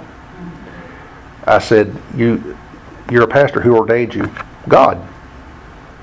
And I tried to explain to him, no, that's not it. I said, you're calling yourself a pastor. You're giving yourself something that you uh, you're giving yourself a sense of authority that you haven't earned. Mm-hmm. And he eventually got into some really. He eventually ended up completely turning away from Christianity and got into homosexuality. Last heard he had AIDS mm-hmm. or HIV. So again, you can't. It, the thing about it is, you can go on the internet and get ordained easily. Anybody can call themselves a minister. They can get paying taxes, but if you want to do it the right way, you got to do it this. You, this is the way you got to do it. Hmm. And he has to have a good reputation before sinners. And I think this is interesting. It's not just the church you need to have a good reputation. The people you work with, interact with, need to see godly character in you. I was sharing with BTC2. There's a pastor, a fairly well-known pastor that has had some issues. Um, he's he is under discipline by the elders in his church over some things. They said they don't believe it's something that's going to permanently disqualify him, but they do see it's something that needs to be dealt with. Well, this pastor hires a public relations firm to deal with it. He's a nationally known minister, so mm-hmm. you know, and a lot of I've seen some of the bloggers that have really lambasted him for that. Now, should he do that or shouldn't? I don't know. I, I can't say.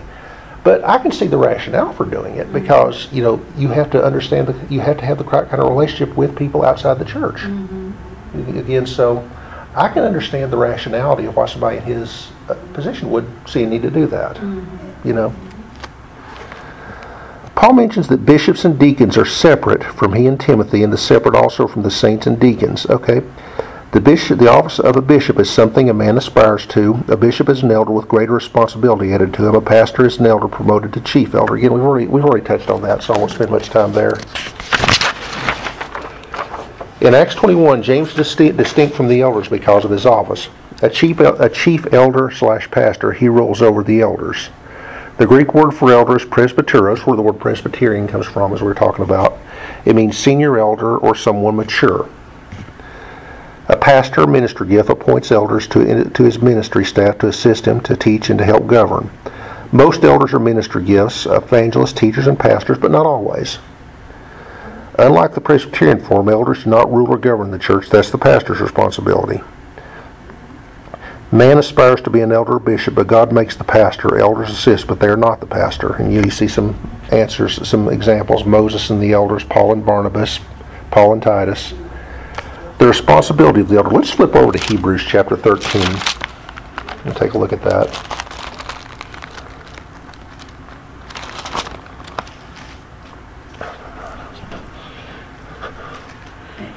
chapter 13, uh, what was I?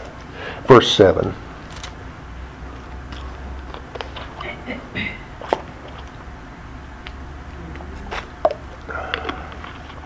Someone there? Remember them which have the rule over you, who have spoken unto you the word of God, whose faith follow, considering the end of their conversation. Uh, who's a different translation? Hebrews thirteen seven. Yes, sir. Because um, this is the New King James um, that I have and reads, Remember those who rule over you, who have spoken the word of God to you, whose faith follow, considering the outcome of their conduct. Sure. So it's not just follow their words, but also follow their life. See what they're doing and follow them as long as their life is consistent with what they're preaching. The word presbyteros is used for both men, men and women. Women can be eldresses who rule and teach, and I'm really glad that they decided to discuss this because back to the old theology chat boards. I mean, they, I'm sure they're still around. I haven't really hung around on them in a while, but some of the nastiest arguments I've ever seen have came up over this. And I got called pretty nasty names because for because I said I'm all for women being able to preach. I really like the way they lay this out. Examples of women who are apostles, prophets, evangelists, teachers, deaconesses. I mean, the first ever evangelistic message was preached by women who went back and told the disciples Jesus had risen from the dead. Deacons. The word, the Greek word for deacon is diakonos, meaning to minister or to serve. The pastor appoints deacons to serve, not to run the church. The deacon's service in the church is spiritual. Okay, someone want to read Acts chapter 6, verses 1 through 6?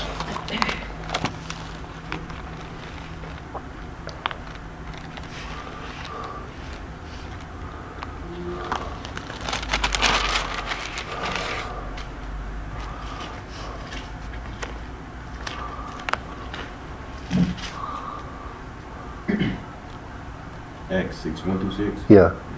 Now in those days, when the number of the disciples was multiplying, there arose a complaint against the Hebrews by the Hellenists, because their widows were neglected in their daily distribution. Then the twelve summoned the multitude of the, of the disciples and said, It is not desirable that we should leave the word of God and serve tables.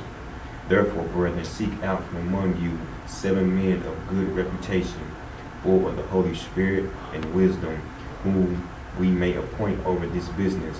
But we will give ourselves continually to prayer and to the ministry of the word.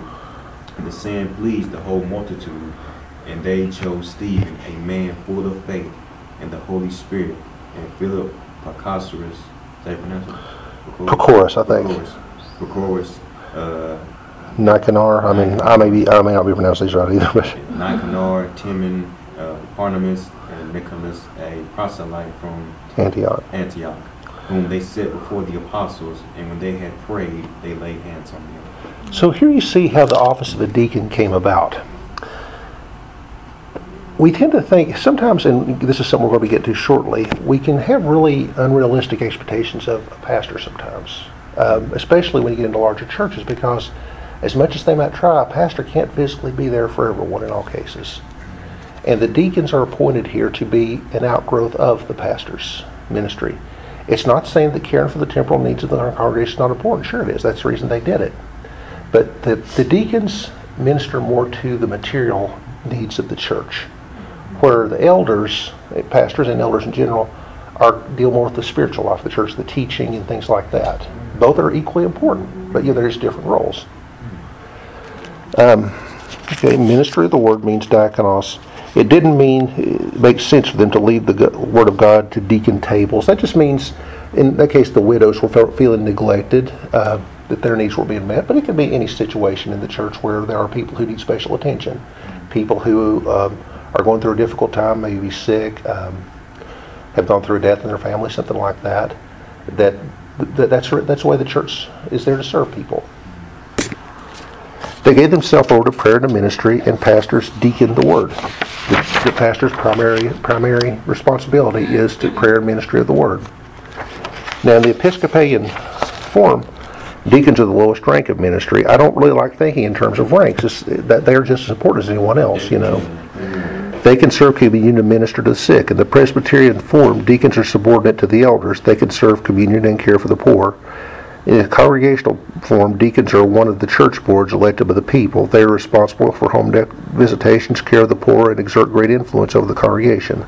Okay, we just read this uh, pers- this verse about deacon, about S- Stephen's office of a deacon, and it's interesting to know that uh, he was a man that had great signs and wonders following his ministry. People say only the apostles did signs and wonders. No, not true. There was a deacon here. The first deacon was a very much a signs and wonders minister. And he wound up being a martyr for Christ. We all know that horrible story about how he was stoned to death, but his face became like that of an angel as he died. Phoebe, a female deacon. Trif- Tryphena and Tryphosa were deaconesses. Acts 6, and let's go back to 1 Timothy, and we're going to be talking about the qualification for deacons now.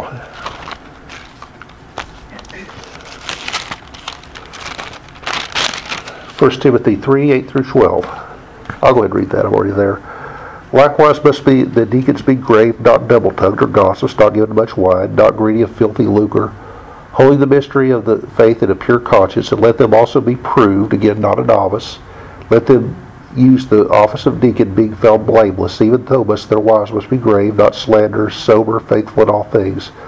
Let the deaconess, let the deacons be the husband of one life, one wife, ruling their children in their own houses well. Basically, the qualifications for a deacon is the, are the same as those of an elder, except for one thing. For to be an elder, you are qualified to be apt to teach or be gifted to teach. That's not necessarily a requirement to be a deacon. Now, that doesn't mean a deacon may not be a teacher. Like we have some deacons in our church who are very good teachers. Deaconess Karen being one of them. But I'm just saying, the office of deacon does not require a teaching gift, where the office of elder does full of the Holy Ghost, full of faith in the Word, worthy of respect, sincere, not indulging in wine, not pursuing dishonest gain. We've already covered those. Keeping hold of the deep truths of the faith, first be proved, tested, being there full of wisdom, and knowledge how to use that wisdom. Again, that's important in any ministry office. You have to be tested to see that you can handle the authority you're being given. I mean, that's if you're being promoted at your second job, same thing. Mar- married to one worthy of respect, to the husband of one wife. Okay, finally, we're going to get to the pastor. The Lord Jesus Christ is our chief shepherd. The pastor is his under shepherd in the local church. The Greek word for pastor is poimen, meaning to shepherd or to feed. Excuse me. Peter is exhorting the elders to feed the flock. The word for feed is the Greek word poimen. The pastor is the one who shepherds or feeds the flock. Paul meets with the elders of the churches of Ephesus, the Holy Spirit calls them overseers, which means they are elders or pastors. Now, God calls pastors not bishops. Pastors oversee the congregation, and these pastors are told to appoint the church. So, being a pastor is not something you can just choose to do like you can be a deacon or an elder. Now, that may start with a desire if you are called to the ministry. Obviously, one of the first things you would indicate is a desire to do it. But you have to have a special calling to be a pastor. It's not just something you could intrude into. People who try usually wind up having some serious problems. Mm-hmm. Amen. Yeah, because I can't see being called by Christ to be a pastor when when that person is not doing right by, you know how the Bible says, take care of home 1st Mhm. and then I, I can't see, I can't see, I know someone that's doing that. Sure, it happens. know, And, yeah, But you know, the people, uh, you know, the people who live with you know you better than anybody. And if, if you are not doing it right with them, again, that doesn't mean you're perfect. We all make mistakes, Right. you know, but uh, you, you are consistent in your walk with God and modeling that and leading your family that way. and, and what's really sad about it, about, about it is you hear that person, that individual on the radio, and they know the word. I mean, they, Sure. they know it, and I'm just like, okay, how can you sleep at night and They may not be able to. Yeah, and that's what, I, and I look at it that way too. There's got to be, you got to get some kind of. A carnal Christian is the most miserable person there is. Amen. You know enough of the word to know what you're doing is wrong, but you're not doing anything about it. Yeah, Yes, you know, as far as like um, the natural man, the one who's unsaved, don't know God, you know, um, I guess in a sense they have an excuse because they don't. the Bible says, you know, they're dark, they walk about in darkness, you know, they don't know. Mhm, As far as a carnal man, Mhm. Christian saved, born again, mhm, yeah, they may have the word, know the word, mhm, but they're still on the fence. You know, it's like mhm.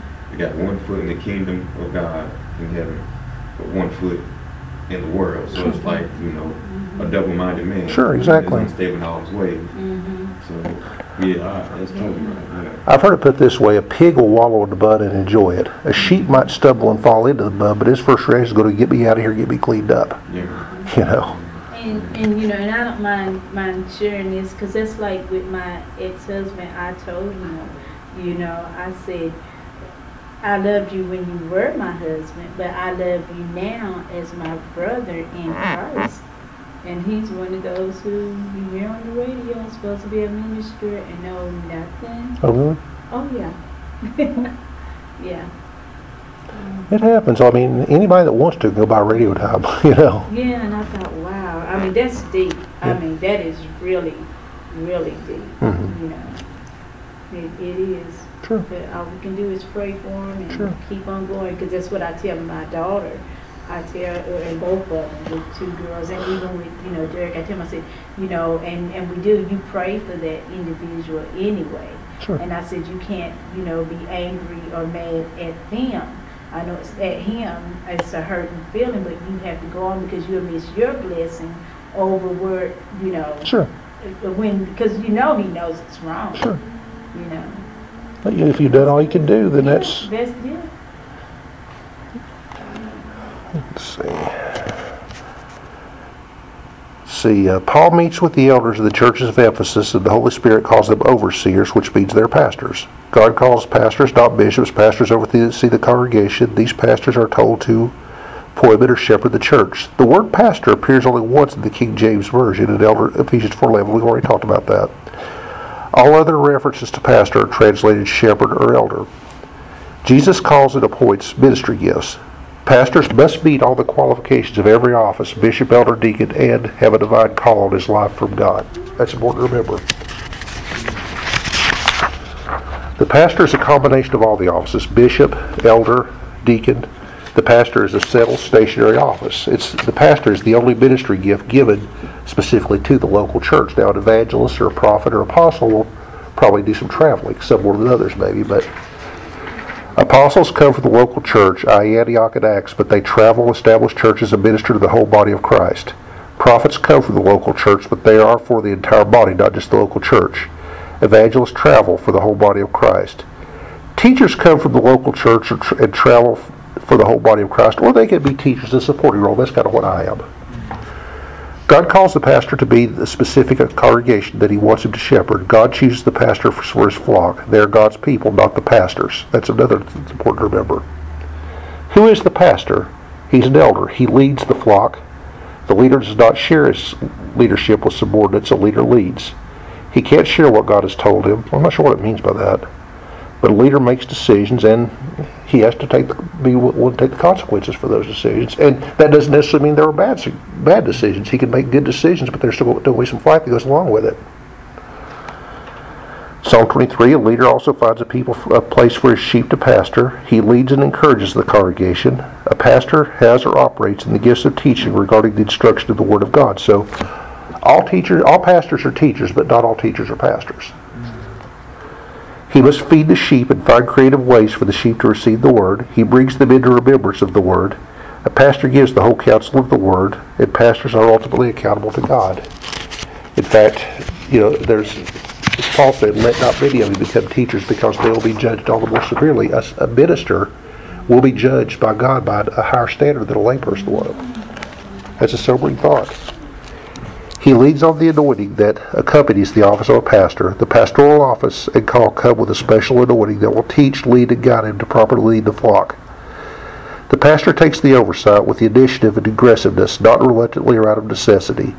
He has a fervency to protect the flock God gives him of the heart of a pastor. He loves the flocks and will minister to their needs, sermons, homegoings, weddings, counseling, hospitals and home visits and activities. And I've been able to, to be involved in some of those things too. Um, in fact, I've been invited to do a wedding uh, later on this summer, and that's that's really the fun part of it. Get to do things like that. But there are other more uh, somber things. You're there with people in the most intimate times of their life if they've lost a loved one.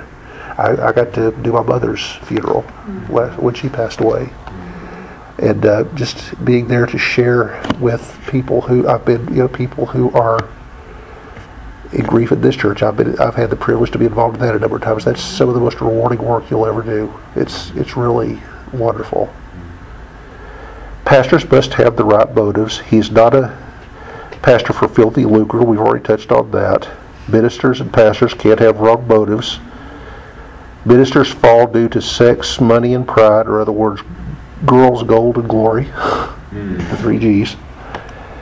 Ephesians 4 11 and 12, the ultimate aim of a pastor is to equip the saints with knowledge of the Word of God. Again, we've already touched on that. A pastor is not a dictator, and our pastor, I think, is a really good example of a pastor that has the right attitude. He leads by example. The congregation belongs to God. The pastor doesn't own them, but he takes care of them. Our pastor has really good insight into that, I believe. If the pastor has a problem with its sheep, he has his recourse is to go to the owner, God. In the local church, the pastor is responsible to feed the flock and admonish them, but the people are responsible for what they do with the food and correction. Again, you can you can teach people all day long, but ultimately they have to choose that they're going to live it out. I, I put a meme on Facebook that I saw the other day that says the the measure of a uh, preacher's effectiveness is not that people go out saying what a lovely sermon. They leave saying I want to do something. A pastor should operate in God's integrity. He should be blameless in all areas of his life. Paul sent Timothy because he had the right motives when no one else did.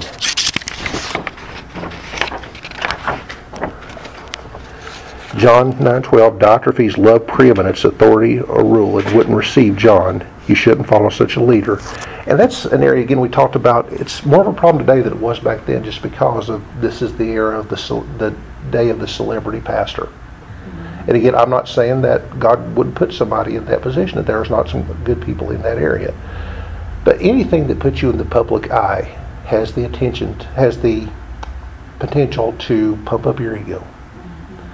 And the more public eye you have, the more of a risk that is. And it can be very dangerous. Demetrius is a good leader, not given to flower to to power. I can't. Let me get a sip of water. I'm stumbling over my words too much. I'm sorry.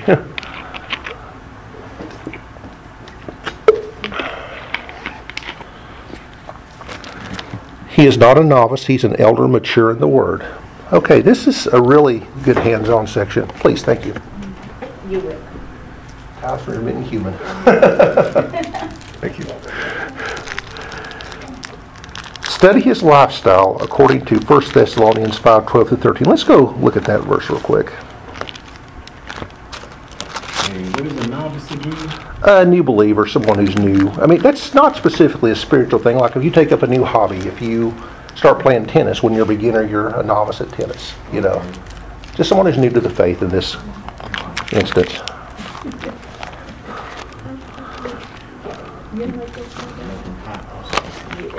Oh. Okay. 1 Thessalonians 5 12 through 13.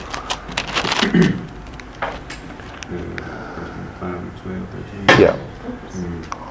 And we urge you, brethren, to recognize those who labor among you and are over you in the Lord and admonish you, and to esteem them very highly in love for their work's sake.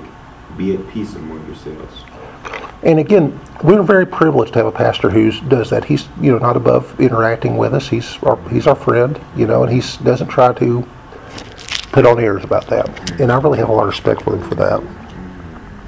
The pastor is human. God calls ordinary men to the ministry. The ministry call does not make him immune from the devil or the flesh. In fact, he's got to guard against that more than ever. Ministry gifts are not superhuman. They have failures, faults, tests, and trials. You should be around your leader to know him. The idea of isolated leadership, that, that's became a real problem, and I guess it still is in some places.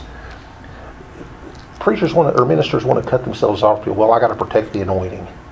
You know, that's what's up with that. You know, Well, I tell you, I, I have more stories, but gosh, I'm just right here in town.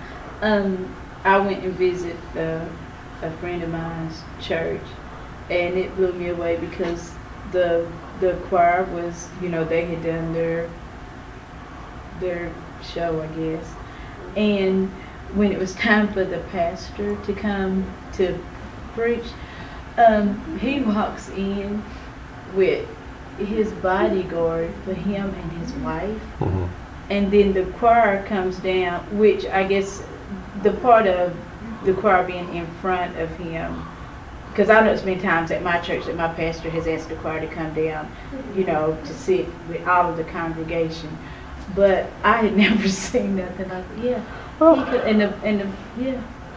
in some cases, like if a pastor is well known, I can understand them having an entourage like that because I, I actually have seen, I've been in quite a few meetings with big name preachers. A time or mm-hmm. two, I've seen somebody in the church that would get to where they were acting in a, I don't know that they were actually trying to physically do it, but they were coming at being really disruptive. And Yeah, yeah, well, and I, and I can see that and respect that when you know it's like that, but I mean, gosh, And they're called like armor bearers too, right? yeah, that's one name you can call that. Okay. The, um, you know, I've been, something I've noticed, I've, again, I've been in crusades with a lot of real big name preachers, and this doesn't always happen, but something I've noticed is before the last eight minutes said, they've, they're whisked away to the back, you know, so Yeah. God forbid they have to interact with anybody. Mm-hmm. Yeah. You know, again, I don't walk in their shoes, so I can't make a hard judgment on them. They just looks odd to me. You're there to help you. What's wrong? Was it really going to hurt you to shake a few hands while you're there? You know. Mm-hmm. Some of the things I hear, you know, mm-hmm. rock stars. Um, you know, I'm not endorsing a lot of the things Metallica sings about, so don't get me don't misunderstand. One of the things they're known for is when they do a concert, they will stick around and sign autographs till the last person's gone. And you know, if entertainers have that kind of respect for their people, what's that saying when I see ministers act like that? That bothers me Yeah. because mm-hmm. yeah, ultimately you're there as a servant of God, but if you don't have people, you don't have ministry. You can't just kind of, you're not just going to come and preach to the cabbage heads. Mm-hmm. Yeah. Yeah. Amen. yeah, and, and, and the reason why I made, it- made the statement, because I, someone, we were talking about that, and the thing with this particular pastor is you don't call, I, can't see a pastor being so, or this is me, so busy that I couldn't call you at some given time. I mean, and, and, and the, you know, but everything that particular pastor makes sure, and he does a lot in the community. And he makes sure if you need something, if I had to, would have to go to him for something, he makes sure that you get it, but you never talk to that individual Mhm. you know, and so that's why I was saying, okay, you know, you have this bodyguards and all this stuff, and I, that just, that, Was it a large church? it's a fairly large church, Yeah. but not to where I, you know, I'm on the outside looking in, but, you know, just in, in conversation and to know that's how he operates, Sure. you know. Well, you know, one of the things, and actually, this is uh, something we're getting ready to uh, uh, to talk to. In fact, this kind of segues into the second, to the next part of the study.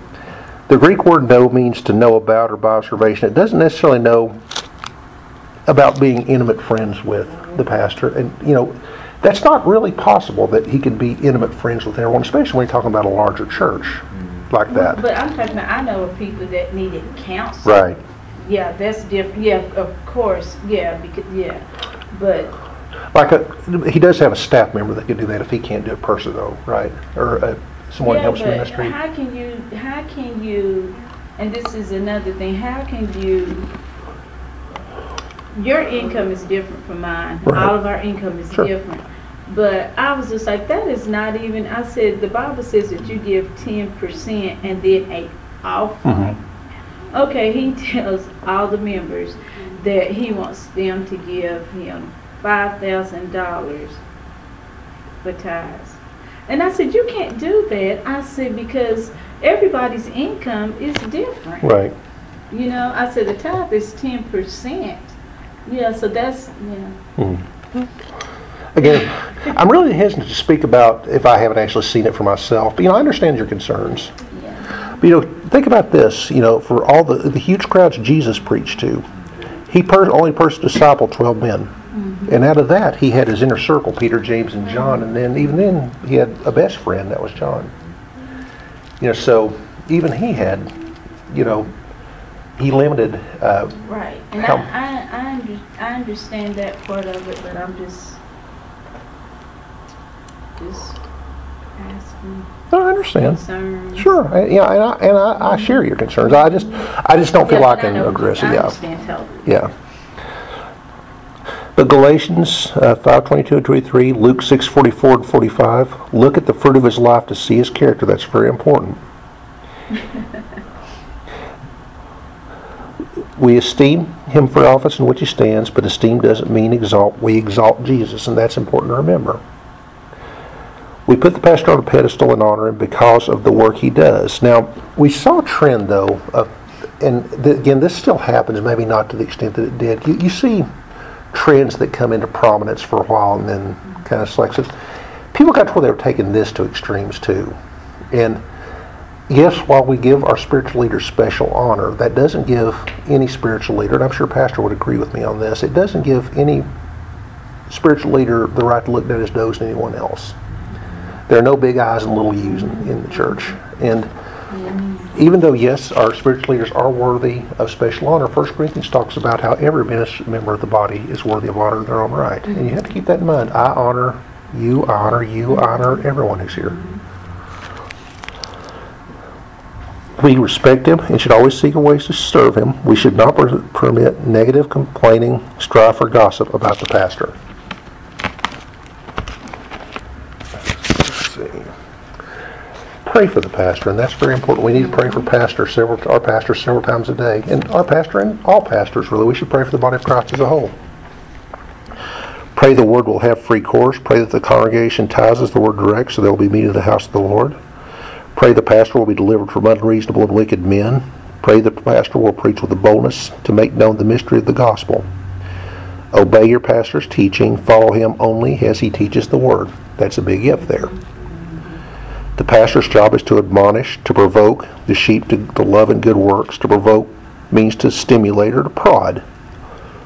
Walk in the word of forgiveness. If you don't forgive, you'll have no priests and you may leave the church. Questions to ask when leaving the church over an offense. And this is important. Is the pastor's preaching and teaching the Word of God? Are people being born again and filled with the Spirit and restored to fellowship? Is the congregation prospering and growing in the things of the Lord? Are families being strengthened? Now, there are times when God will lead you to change churches. And that's not necessarily because there's anything wrong with the church you're at. It's just God may have things He wants you to learn or do mm-hmm. somewhere else. Mm-hmm. You know. And it's important to make sure you have the right motives when you do it. Don't just get mad and go, especially without giving giving the pastor a chance to. Maybe it was just a misunderstanding, you know. But the bottom line to ask is this where God wants me to be? What if your vision differs from your pastor's? Pray that God will help you to understand your pastor's vision and submit because there is only one vision. If you will not submit, you must leave because the lack of agreement will hinder the vision. Submit to the, submission and obedience. Submit to the authority of the church again only as far as they teach the word. Be subject to ministers again only as much as far as they teach and live the word. Jesus, an example of submission and obedience, he was always submitted to the Father. Evil is evil or forced obedience is not from God. Terror and fear is not from God. Manipulation is not from God. I will add that because that happens a lot.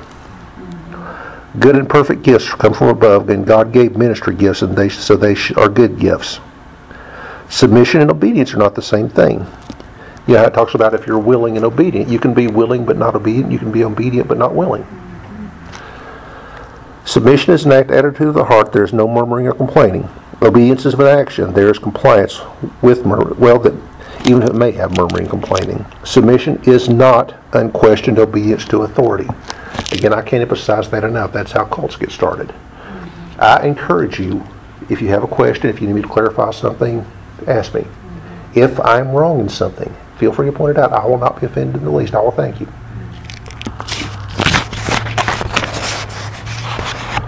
Submission is willingness to follow leadership as long as it doesn't violate God's word. I, I don't mean to be redundant, but that's something I can't emphasize enough.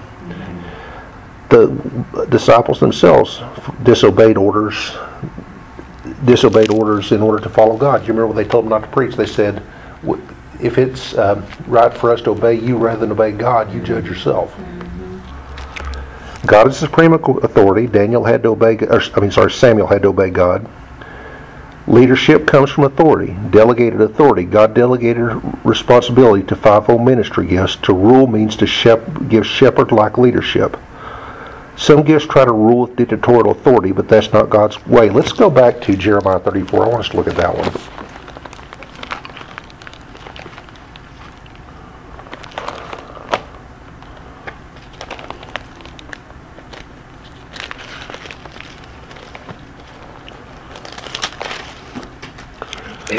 Eleven through seventeen, I'll read that one.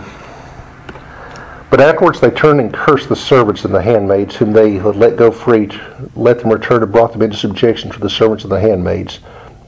Therefore the word of the Lord came to Jeremiah from the Lord, saying, Thus saith the Lord, the God of Israel, I made a covenant with your fathers the day I brought them forth out of the land of Egypt, out of the house of bondsmen, saying, At the end of seven years let go every man his brother and Hebrew, which hath been sold unto thee. Though he has served thee six years, thou shalt let him go free from thee. But your fathers hearkened not unto me, neither inclined their ear. And ye were now turned, and have done right in my sight, in proclaiming liberty every man to his neighbor. And you have made a covenant before me in my house, which is called by my name. But ye turned and polluted my name, and caused every man his servant, and every man his handmaid, whom he had set at liberty at their pleasure, to return, and brought again into subjection, which to be unto you the servants and for handmaids. Therefore, thus saith the Lord, You have not hearkened unto me in proclaiming liberty, every one to his brother, and every man to his neighbor. Therefore, I proclaim a liberty to you, saith the Lord, to the sword, and to the pestilence, and to the famine, and I will make you be removed into all the kingdoms of the earth. So, when people try to put people under bondage like that, God takes that seriously. God's about freedom. He's not about putting you into bondage. Now, that doesn't mean He doesn't give you things to obey, but God's commandments are not bonding. They're, they are free.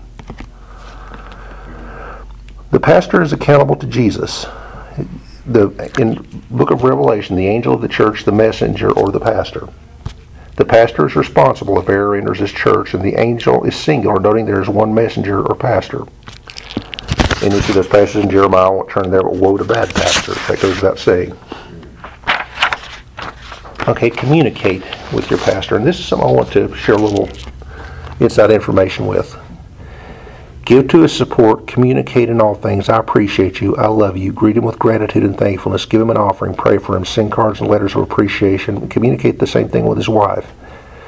Imitate him. Be faithful to follow him. Sometimes we don't realize what a difficult job being a pastor is. As we're talking about, he's has the oversight of a group of people, very diverse people. He's there to minister to their needs. Again, people have very different needs. He's expected to be there for when needed. Sometimes he can't always do that, and he has people in place that can, but that, again, that's his responsibility. Whether or not there are finances to do the job depends completely on voluntary contributions. Whether or not the work gets done depends, in our case, completely, and sometimes they're paid staff, but it's almost completely on voluntary labor. If the children's minister or worker doesn't show up, there's problems. You have to deal with all that as ministry.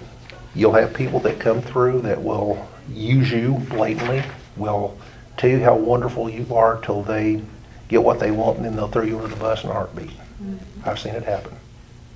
Mm-hmm. People think that the pastor is a glamorous job. It's not. It's a very difficult, it, a lot of times it's a very lonely and a very thankless job. And we've got a pastor that really loves us and is there for us the way ours is. We need to treat him like gold. Why God gave pastors for the maturing of the saints, the saints can do the work, so he can focus on prayer and the ministry of the word, to oversee, feed, shepherd, and guide the church, to feed the church and be example of Christ likeness, to be example in speech, conduct, love, faith, and purity, to execute justice and righteousness, to give rest to God's people, to know and lead the people, to find pasture for the people, to search for the lost, to lay down the life for the gospel, and to serve as God's messenger. Yeah, really easy job, huh? that's that's a pretty heavy order, don't you think? Receive your pastor as a gift. He is. Amen. Pastors are a gift to God from the church. You must take a make a hard decision to do that. Allow yourself to be mature. When you receive them as a gift, you release the supernatural anointing of God in your life. Well, that's the end of it. Is there anything anyone of you like to share? This is all good. Um, Well, this is one, again, I was talking to Angela before you came in. Uh, it's, when you see church government, it's, it just seems like kind of a nuts and bolts type thing. It's not, if I was in your shoes and I said, well, church government's not, it's, that wouldn't necessarily be a subject I get enthused about. But you really see God's heart and how He lays out the church to be yeah, yeah. governed like that. Amen. Amen. And- um, because it's exactly what it's about. You know, we are. That's what the church is. You know, we are a govern governing body. Sure. We are really a government. You Sure. know, um, because we come from a government. You know, the government of God. You know, the kingdom.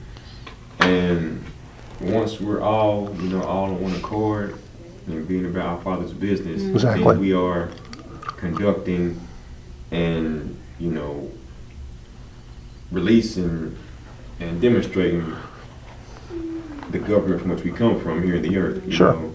So Exactly. This, Yeah, is this is all it. Hmm, Exactly. This is it. Okay. Well, I'll go ahead and stop the recording.